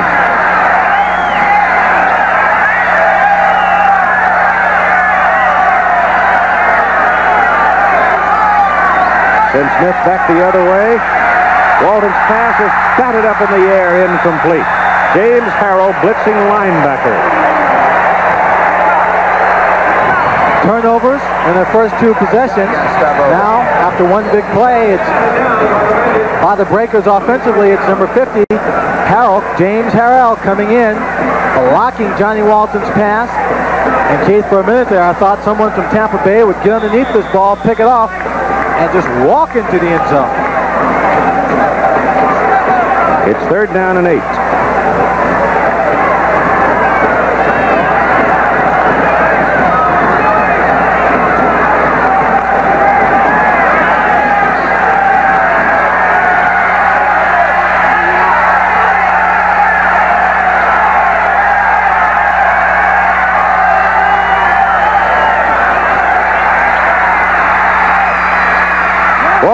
Pass is caught by Dan Ross for a first down at the Tampa Bay 34. Ross shook, number 50, James Harrell, as Johnny Walton. The protection kind of broke down a little bit. He started to scramble, had number 68, Fred Nordgren, on his track. And right there, good move by Dan Ross as he sees him scramble. He just wheels inside and tries to make a move to the outside. He stumbles and falls. Number 20 was Warren Handler came on and made the uh, tag. Johnny Walton on third down plays, five out of five. He's picked up four first downs. That's clutch. Timeout. Indecision. And probably in this heat, a little fatigue. Three and a half minutes to play in the third quarter. Walton wants to talk. Get things organized. They don't want to miss this opportunity. Trailing 24 to 17 game last week, there was only one punt in that ball game by Andrew Andrusyshyn of Tampa Bay. Frank Roberts has now moved over to center to do the snapping. McLaughlin might just be exhausted, having played all the game up to this point. Walton turns, hands the ball to Marcus Dupree. Oh, he got a good block on the corner from Frank Lockett, who took down Zach Henderson, and that leaves the door open for Dupree at his speed, and he goes down to the 21. Well, great job. He was called earlier for an illegal crackback block, but not this time. He gets inside. He knows the play is coming outside, and the timing is perfect. He cut him down just as Dupree was behind him, not a second too soon or too late. If you do it too soon, knock him down, the defensive man can get back up and still make the tackle. That time, the timing was excellent. And it's a first down for the Breakers on the Tampa Bay 21 with 2.50 to go in the third quarter. David Bale is now into the wide receiver spot. He's a big tight end. Pretty good pass catcher. Walton gives that ball off to Marcus Dupree. And he's to the 18, close to the 17. Walter Carter and James Harrell on the tackle. Marcus Dupree now has gone over 100 yards on 15 carries. He's executing the ground portion of Dick Coury's game plan extremely well. They've been able to possess the ball more in terms of time than Tampa Bay. How about the flea flicker right here? Flea flicker? That safety's really coming up. Yeah, 20 play action. I go. What is a Second what? Hey, Steve. Yeah.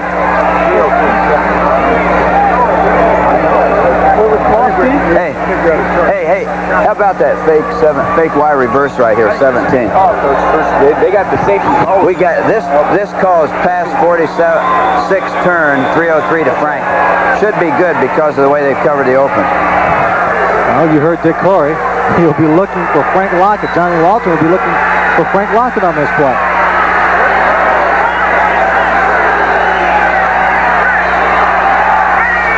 Second down, about seven.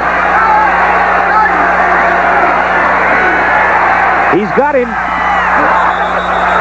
But he threw it too low. Trapped it. He had Jeff George behind him and had daylight to the ball, but the pass was too low. Take a look. The official behind him makes the call on this play. Watch his hands. He gets him under the football. Looked like a pretty good catch to me, Keith. Close. Yeah. Official who was behind him actually made the call. He could not see whether that ball really touched the ground or not from his position, but he had to make a call, and he made one. It is third down and seven. Uh, it's third down and seven, not six. Nowhere near six.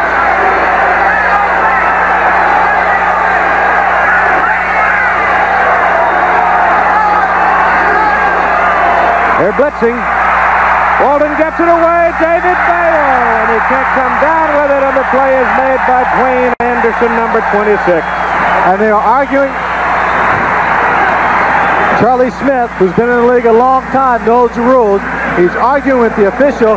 He felt it was an illegal play because the defensive back was not looking at the football.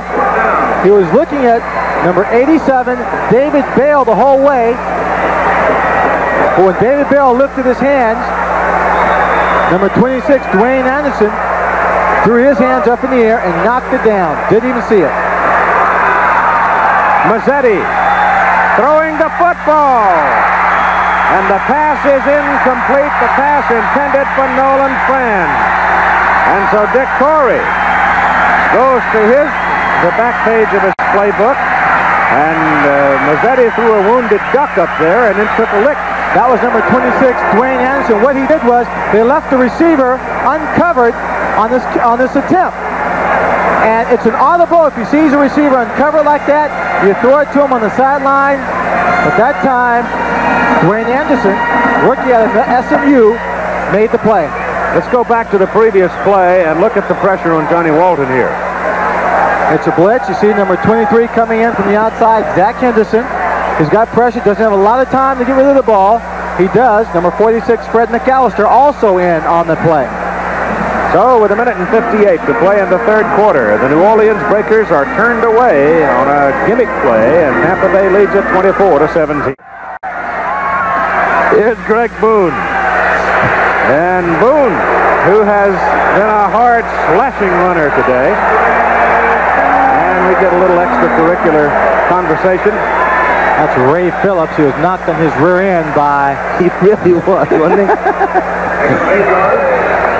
John, how do you pronounce John's last name? Kenai? Kenai. Kenai. Played at the University of Miami, Florida. Crowd today is 42,592. That's the second smallest crowd for the Tampa Bay Bandits this season.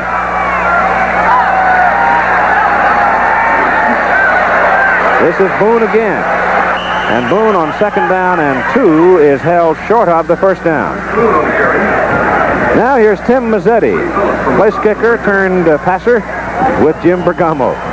All right, Tim, uh, everybody wants to know what happened exactly on that play. It looked like you were confused, but I'm sure it was planned. No, it was planned, Jim. It's called, it's, it's a sandlot play. It's called the fake T field goal. I run in without the T, look at Nolan. Nolan does an excellent job of acting. He comes running to the sideline and says, where there's the T? And he's the man in motion on the quarterback set in the shotgun position. I just hit him on a, on a pattern going down the line. Tampa Bay made a great play. Should have been a touchdown. Well, a little better pass next time, Tim, and it, it might be. Boone goes for the first down on a handoff up the middle, and I don't think he made it. Looks like the spot is well short of it as Jeff Merrill bangs in there. Those have been watching uh, Houston, Oklahoma. We're at Tampa Bay. I'm sorry you've had troubles with that ball game, but I'm sure they'll get things organized out there sooner or later. Here in Tampa Bay, our score, the Bandits 24 and the New Orleans Breakers 17. New Orleans was down inside the 20 and was turned away by the Bandits defense. Now, Tampa Bay looking at fourth and about a yard, and we're about to have our first punt in this football game. Stop him! I think. There's no punter out there.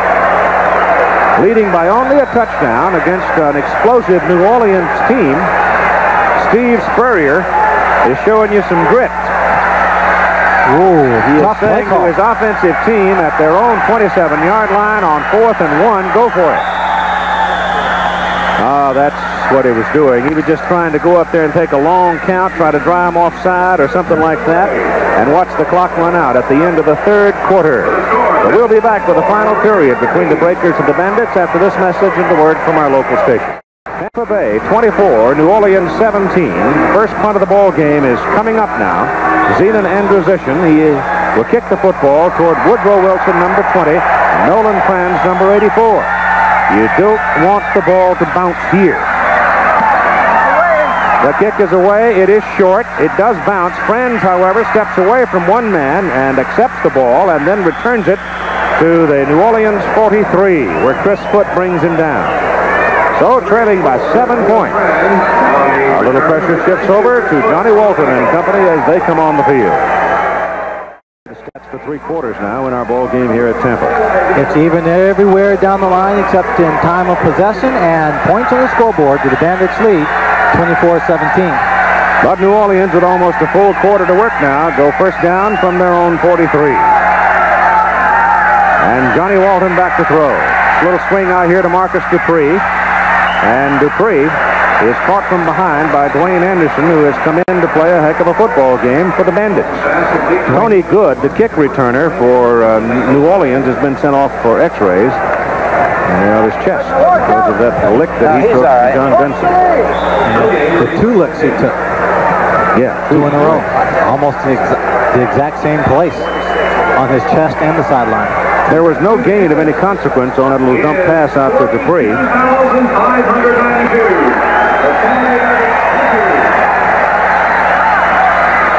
So it's second down and 10.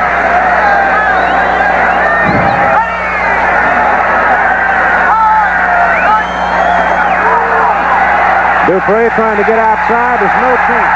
They bury him back behind the line of scrimmage with Fred McAllister and Mike Clark and a penalty flag at the line of scrimmage.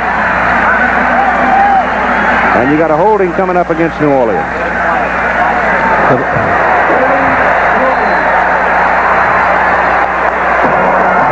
Holding, number 65 on the offense, declined, third down.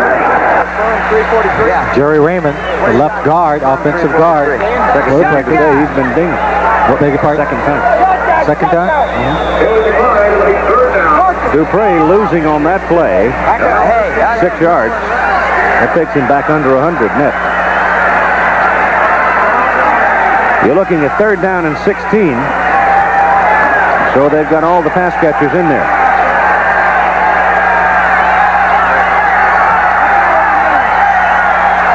The shotgun.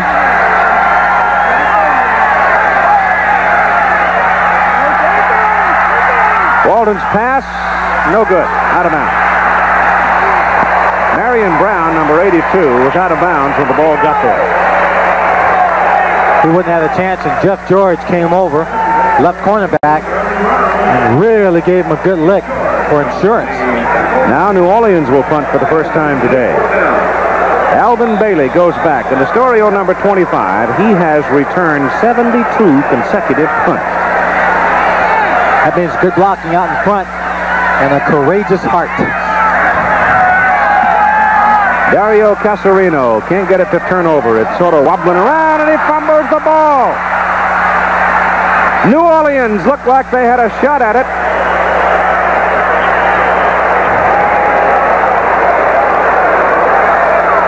And here's the customary pileup where no one seems to know for sure. Looks like an official is getting ready to point. It's New Orleans New. Orleans. A hanging 34-yard punt that got up in the wind. It didn't turn over at all, so it started backing up on Alvin Bailey, and that's the hardest kind of a ball in the world to track down when the thing is sliding away from you. And it just bounced out of his arms. Take a look there. He didn't call it. He had to run up for it, and the ball was sliding away from him. That's a tough catch. He's got to really get under that. Get both hands in his chest there. He just slid right through his arm. That is the fourth turnover now for Tampa Bay. Ben Needham recovered the ball, and the Breakers He's get got, a break. he break. likes the weak side action with an eight. Let's see now if Dick Coury can get his offensive team to capitalize on it. They've been pretty quiet in the second half. Very quiet. Of course, their first two possessions were fumbles, and they didn't have the ball. From the 32 of Tampa.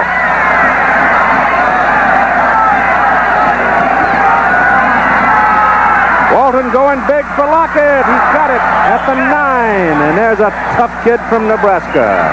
Well, when Marcus Dupree came to the New Orleans Breaker, he said the most impressive thing he saw on that team was Frank Lockett's arms. He is built very much like a linebacker at 6 feet, 200 pounds. He has been in that weight room quite a bit. Look at the hit that number 28, Doug Beaudoin, lays on him right there. You see the whole follow just shakes, wobbles, but one thing stays steady and calm, his hands around the football. He brings it in. And it's first and goal New Orleans at the Tampa Bay nine. Dupree on a sweep. To the six.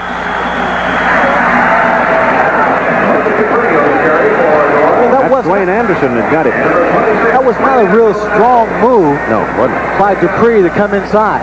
He had a blocker out in front of him, Mark uh, Mark Shalene, and he was blocking on Dwayne Anderson. And instead of uh, just seeing that block set up, taking it inside hard, he took a slight angle. Mark Shalene was able to play off the blocks. One of the linemen down there, I don't know whether it's 65 or 64 or 62, but there is a New Orleans lineman down on the field. Time is called for him with 11 minutes and 58 seconds to play in the football game. It's Jerry Raymond out of Boston College who is shaken up on the play. Ah, tis a fine summer day on Tampa Bay. Well, taking advantage of a little bit of bench space up in the upper levels. Oklahoma, three. The ball is at the six-yard line of Tampa Bay in the possession of New Orleans. They're trying to tie it up or even perhaps go for two and go ahead. Second down and goal.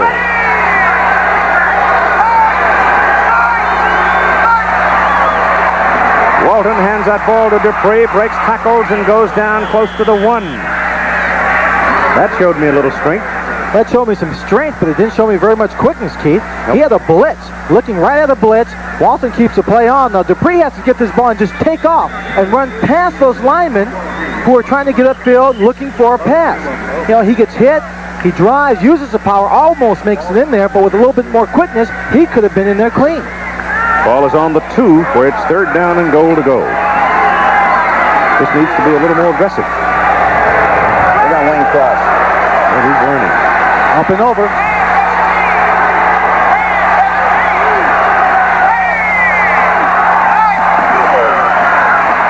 Walton throws and almost threw an interception. Number 51, Kelly Kirchbaum, stepped in front of David Bale and almost came out of there with an interception. Oh, It was a terrible pass. A bad- he almost loses the ball faking the handoff. Watch right here. He fakes it to Dupree right there. He almost lost the ball.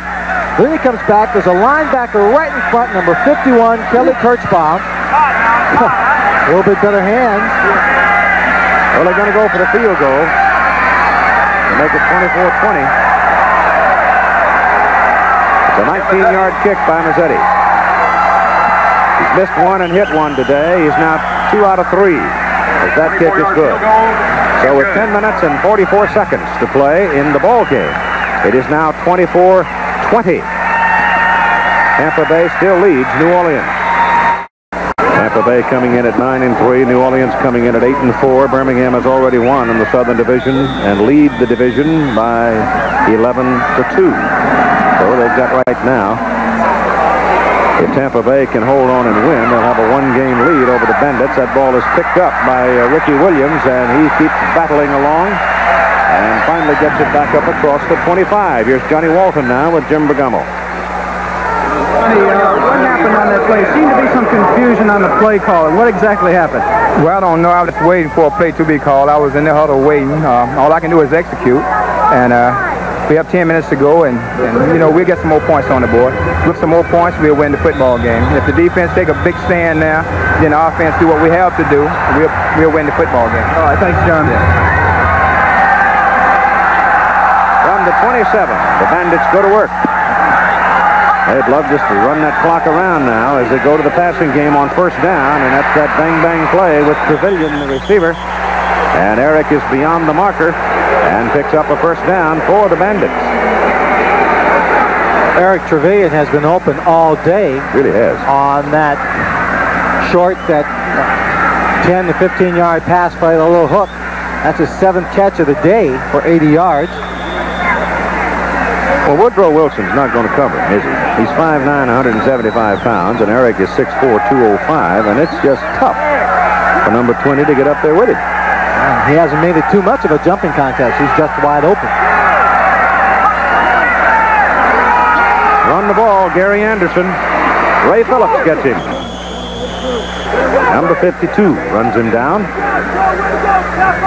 Grabbed him around the ankles, tried to keep him up, let him stay up to take a little more punishment to slow him down. Uh, give you some idea of the warm day, but it's, it's not terribly uncomfortable at all. It's quite nice. Uh, modern technology, air course, I'm- conditioning on the sideline. I'm sitting up here in the, in the shade. I'm not down there bumping heads. that sweat box called the uniform. 44-yard line. Second down and six. Reaves, short, good to Harvey. And Harvey is decked two yards short of his first down. Mike Brewington on the stop for the Breakers. Mike Brewington did a good job stopping him short. The gunslingers continue to roll. It's like they've got that one in hand, doesn't it?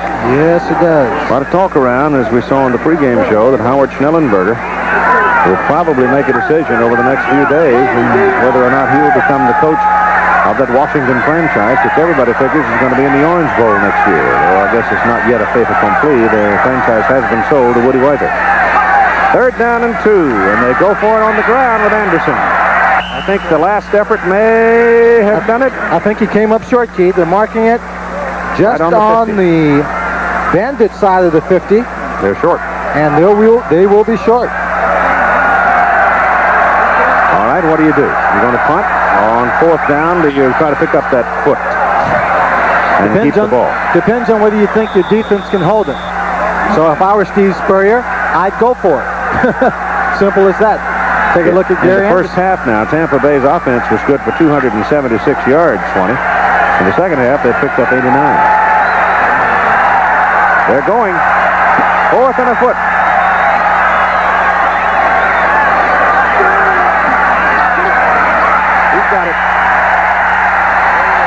Just barely. Number 92, Mike Robinson, burrowed underneath that offensive line. He was able to get him, get Anderson around his ankles and trip him up. But just the length of his body was good enough to go over the 50-yard line, up to the 49 for the first down. Jeff Gaylord is hurt and down on the field. The nose tackle for New Orleans.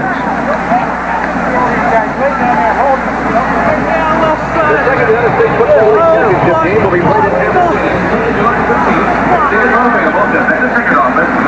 Anderson has totaled 118 yards now, 45 running and 73 as a receiver. Gaylord's hurt. He is in great pain. You see him there.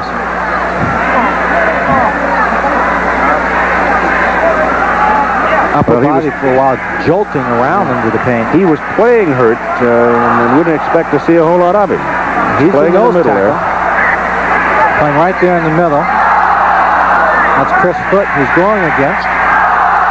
He's being driven back there. See that Oh, knee? yeah. Well, right there. Oh, About five people falling on an extended look, knee. yeah, looked like that left leg just got extended straight out behind him. And a whole pile of people, three or four people, right on top of it. So it's got to be at least a hyperextension of the left knee. Maybe worse. Eight minutes to play in the football game. Crowd of 42,592 enjoying themselves. Their team is sitting on a 24 to 20 lead. Trying to keep it close to the vest and keep the clock running. Reverse it with Gary Anderson. And he reaches the 44 for four yards. Marcus Marek in on the tackle. And they're working on Gaylord. Oh, I hate to see that. Mm. His knees are just, there's just not much you can do with a knee. There's, there's no muscle to build around the thing. No, it's such a lost feeling to, to be in there in the middle of the line, blocking. You feel your legs slipping away underneath you, and you just feel the pressure building up on it, and you can't pull it back. Second down about six. John Reaves throws the short pattern good to Larry Brodsky. And Brodsky looked like he got just beyond the marker for a first down. Larry Brodsky was a little bit upset. Took the ball, threw it back at Marcus Marek.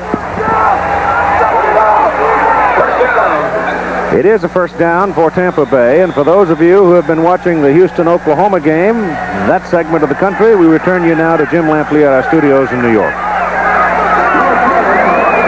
Us will stay right here as Tampa Bay is holding on to the football at six and a half minutes to play and trying to keep control of it. New Orleans has two timeouts remaining. They called one early back in the third quarter, remember.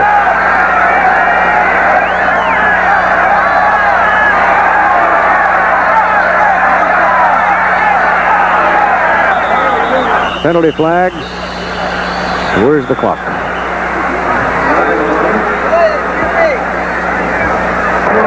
Delay of the game, number seven on the offense, first down. Automatically goes on the quarterback. Then the 30-second clock expires and you haven't clicked off another play. It's a five-yard penalty. Of course, that is the only only the second penalty for the Tampa Bay Bandits so far in the ball game, Chief. Yeah, turnover's been the biggest enemy of both teams, really. Though New Orleans in the first half did mistake themselves at the wrong time a couple of times, but got off the hook with big plays. First and 15. The ball comes back to the 42.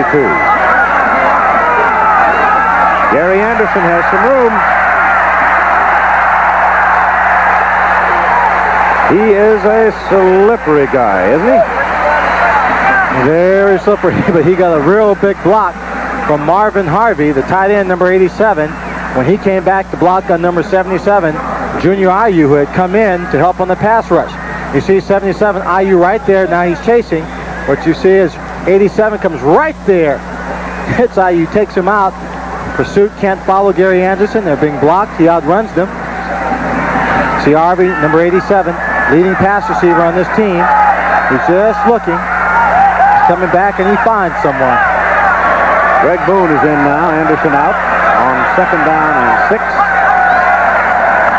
This is Boone. Right ahead for the first down.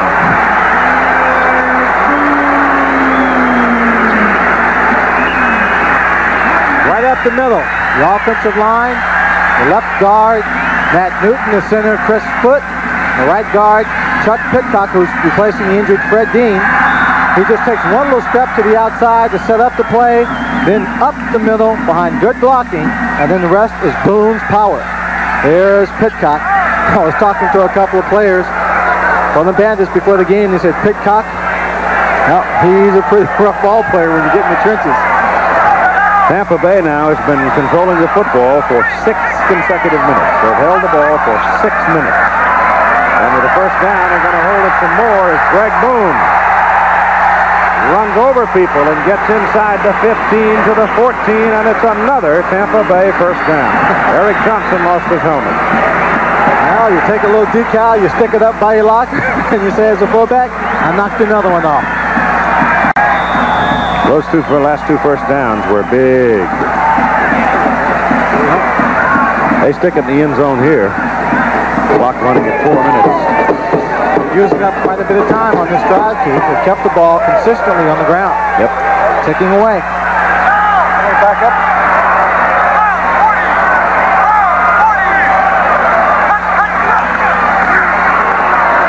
Boone struggles for two to about the 12. Charles Harbison, the strong safety, up for the hit. Eric Johnson Keith. stop for the Breakers. It's at this point you now have to say that what New Orleans defensive team has to do is stop them and not give up more than a field goal. They are already in field goal position. If they give up a touchdown and the extra point, they'll be behind by by uh, 11 points, It's over. and it's real tough for them to come back to get 11 points with what will, what will be less than three minutes in the ball game. If they can hold them to a field goal, we know that the New Orleans Breakers with Frank Lockett and Johnny Walton have great comeback potential. And John Reaves steps away, having looked at the defense and the people and the uh, alignment he'd called. And he wants to talk. So timeout. Tampa Bay, 3.03 to play in the game.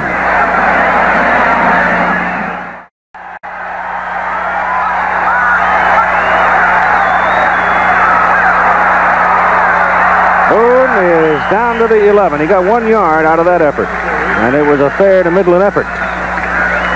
Cover one of our timeouts. Keith, get one of our timeouts before. Oh, we've only got two left, though. Ah, he wasn't talking to you, was he, Keith? I hope not. I can't help him. well, would you tell him to use the timeout now?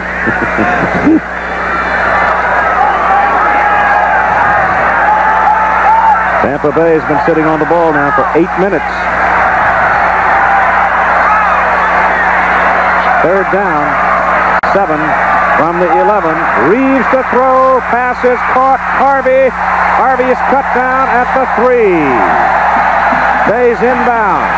And that is a first down for Tampa Bay. Five seconds to go to the two-minute warning and the final period of this ball game. Well, that might have been the hammer that broke the nail, or whatever you want to call it, because that now puts Tampa Bay in position to gobble up some more time, keep it on the ground, and possibly score a touchdown. Harvey has been doing a good job this afternoon, making some key catches to keep drives alive, some good blocking. Here he comes up with another catch, maybe his biggest catch of the afternoon, to give his team a first down inside the five. Two minutes to play in the ball game. The Bandits lead it 24 to 20. And they look like they're going to score again. Next Sunday, we'll have a choice of two games. Check your local listing for the game in your area. Philadelphia at Michigan and Birmingham at New Orleans. Gary Anderson today has broken the Tampa Bay rushing for the season. He's now passed 695 yards. The old record was 694 by Greg Boone. It's first down and goal to go from the three for the Tampa Bay Bandits. And Anderson gets a yard. Clock is running now. New Orleans with two timeouts.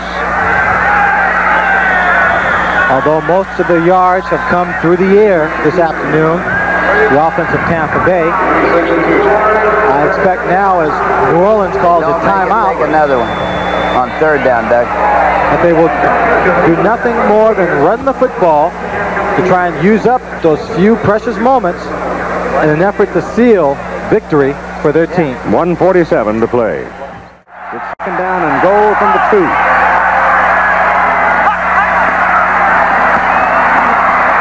Anderson touchdown.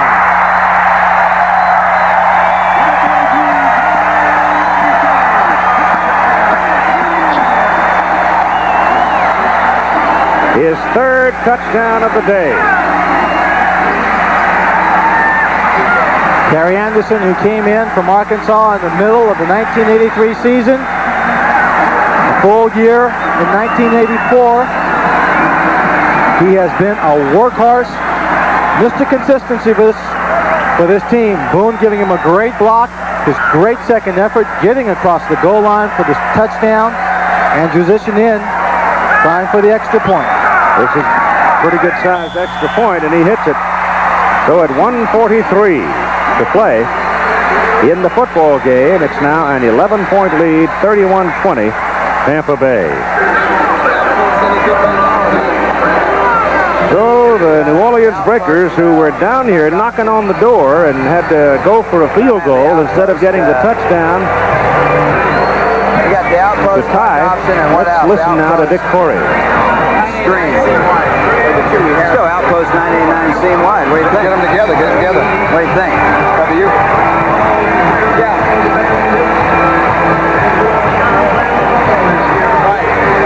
They'll just go four across on it.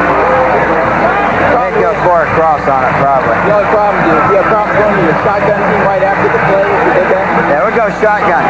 Buford, shotgun.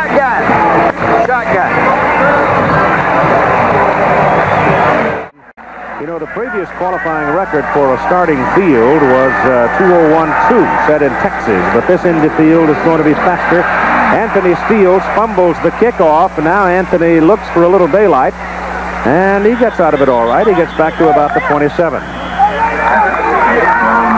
But this is a real example of pounding it out, isn't it?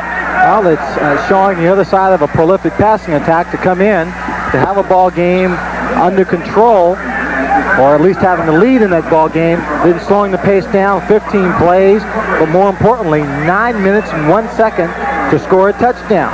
Well, that really takes the ball game away from your opponent. They can't do anything, and that uh, just reduces their opportunities of being able to come back. A minute and 36 seconds on the clock. New Orleans with one timeout remaining, and they're going to go out of the shotgun. You heard uh, Dick Coury say that, and Johnny Walton this half, three out of nine for only 34 yards. Dumps this one off over there to Buford Jordan. Jordan gets some help, uh, but does not get a first down. He gets up across the 35 where Alonzo Johnson out of Florida A&M brings him down, and we've got an expression of uh, frustration on the field, and there's a penalty flag. Well, that's one way to get the clock stopped, I guess. Have a fight.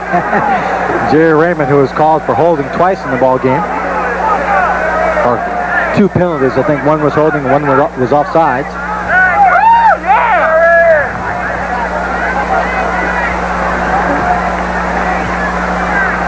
Right now, Johnny Walton, to get his offensive team huddled up, he should at least talk to them, get them uh, the next play he wants to call.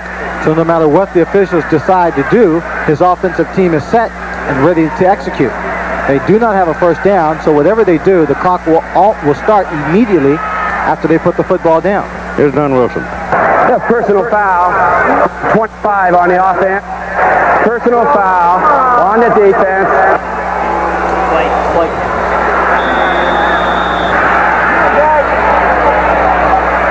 He said 25, didn't he? Shaleen, huh? Said 25. Mark Shaleen, the fullback. You wouldn't want to get in the scuffle with Mark. And he is a real tough customer. 35-yard line.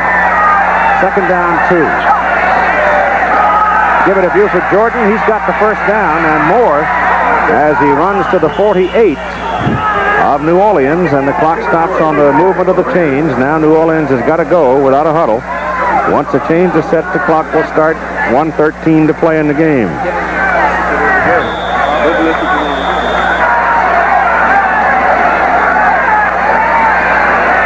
Walton going to the sideline. It is intercepted, but he was out of bounds. Warren Hanna comes down with it, but Frank Lockett, the intended receiver, was right on the chalk, and when Hanna went up to get it, he was out of bounds.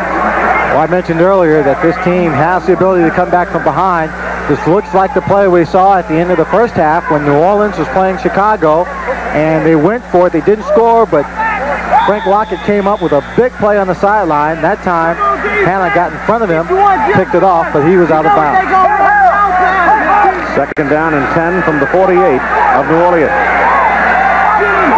103 to play in the game.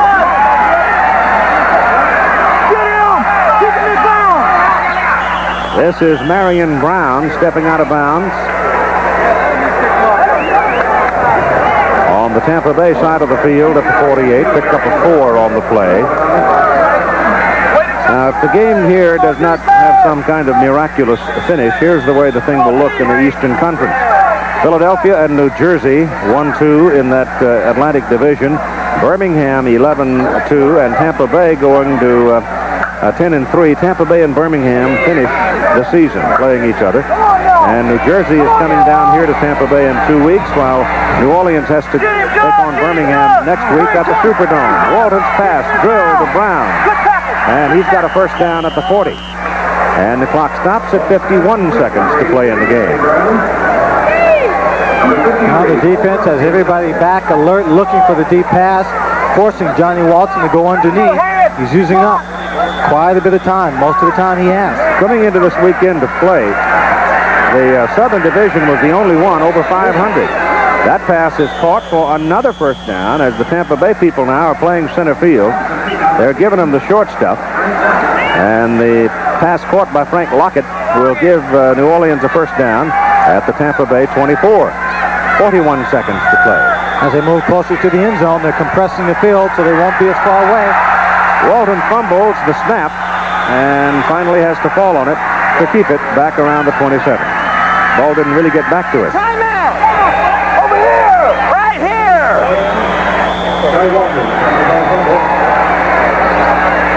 Lost the play two yards. It'll be second and 12. So there's a timeout call by uh, New Orleans. It's their last one, and Walton doesn't even know that uh, they've effected a timeout. That's the last one. They have no more remaining. This is their last chance to talk with 23 seconds, and I don't think Tampa Bay really cares if they do score a touchdown here. How is your brigade today, Mr. Swann? Ball is at the 27 of Tampa Bay. Lockett today has caught five passes for 125 yards. Five of those were all first downs. All five were first downs. I'm sure he wouldn't mind catching a sixth and another touchdown, but he'd give up all those catches to have his team out in front. Tough young man out of Nebraska. 24-17, Michigan. They kicked onside, recovered the football, and they have it with about a minute or so to play in the Coliseum in Los Angeles. Michigan trying to win to stay at uh, go eight and five and stay tied with the Houston Gamblers. And of course, Arizona beat Denver. And uh, Los Angeles has to win in order to stay even with Arizona in the West. All right, the ball gets away from Johnny Walton again.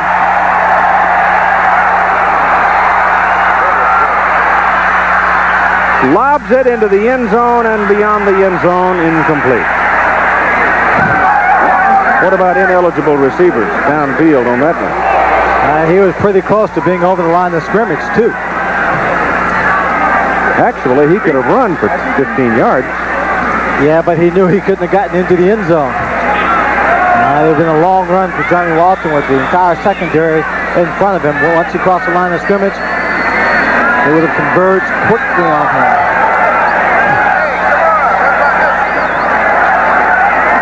It is third down and about 13. Back on the 27 with 12 seconds to play. Uh-oh. Started too soon. They go ahead and run out the play. The pass is incomplete.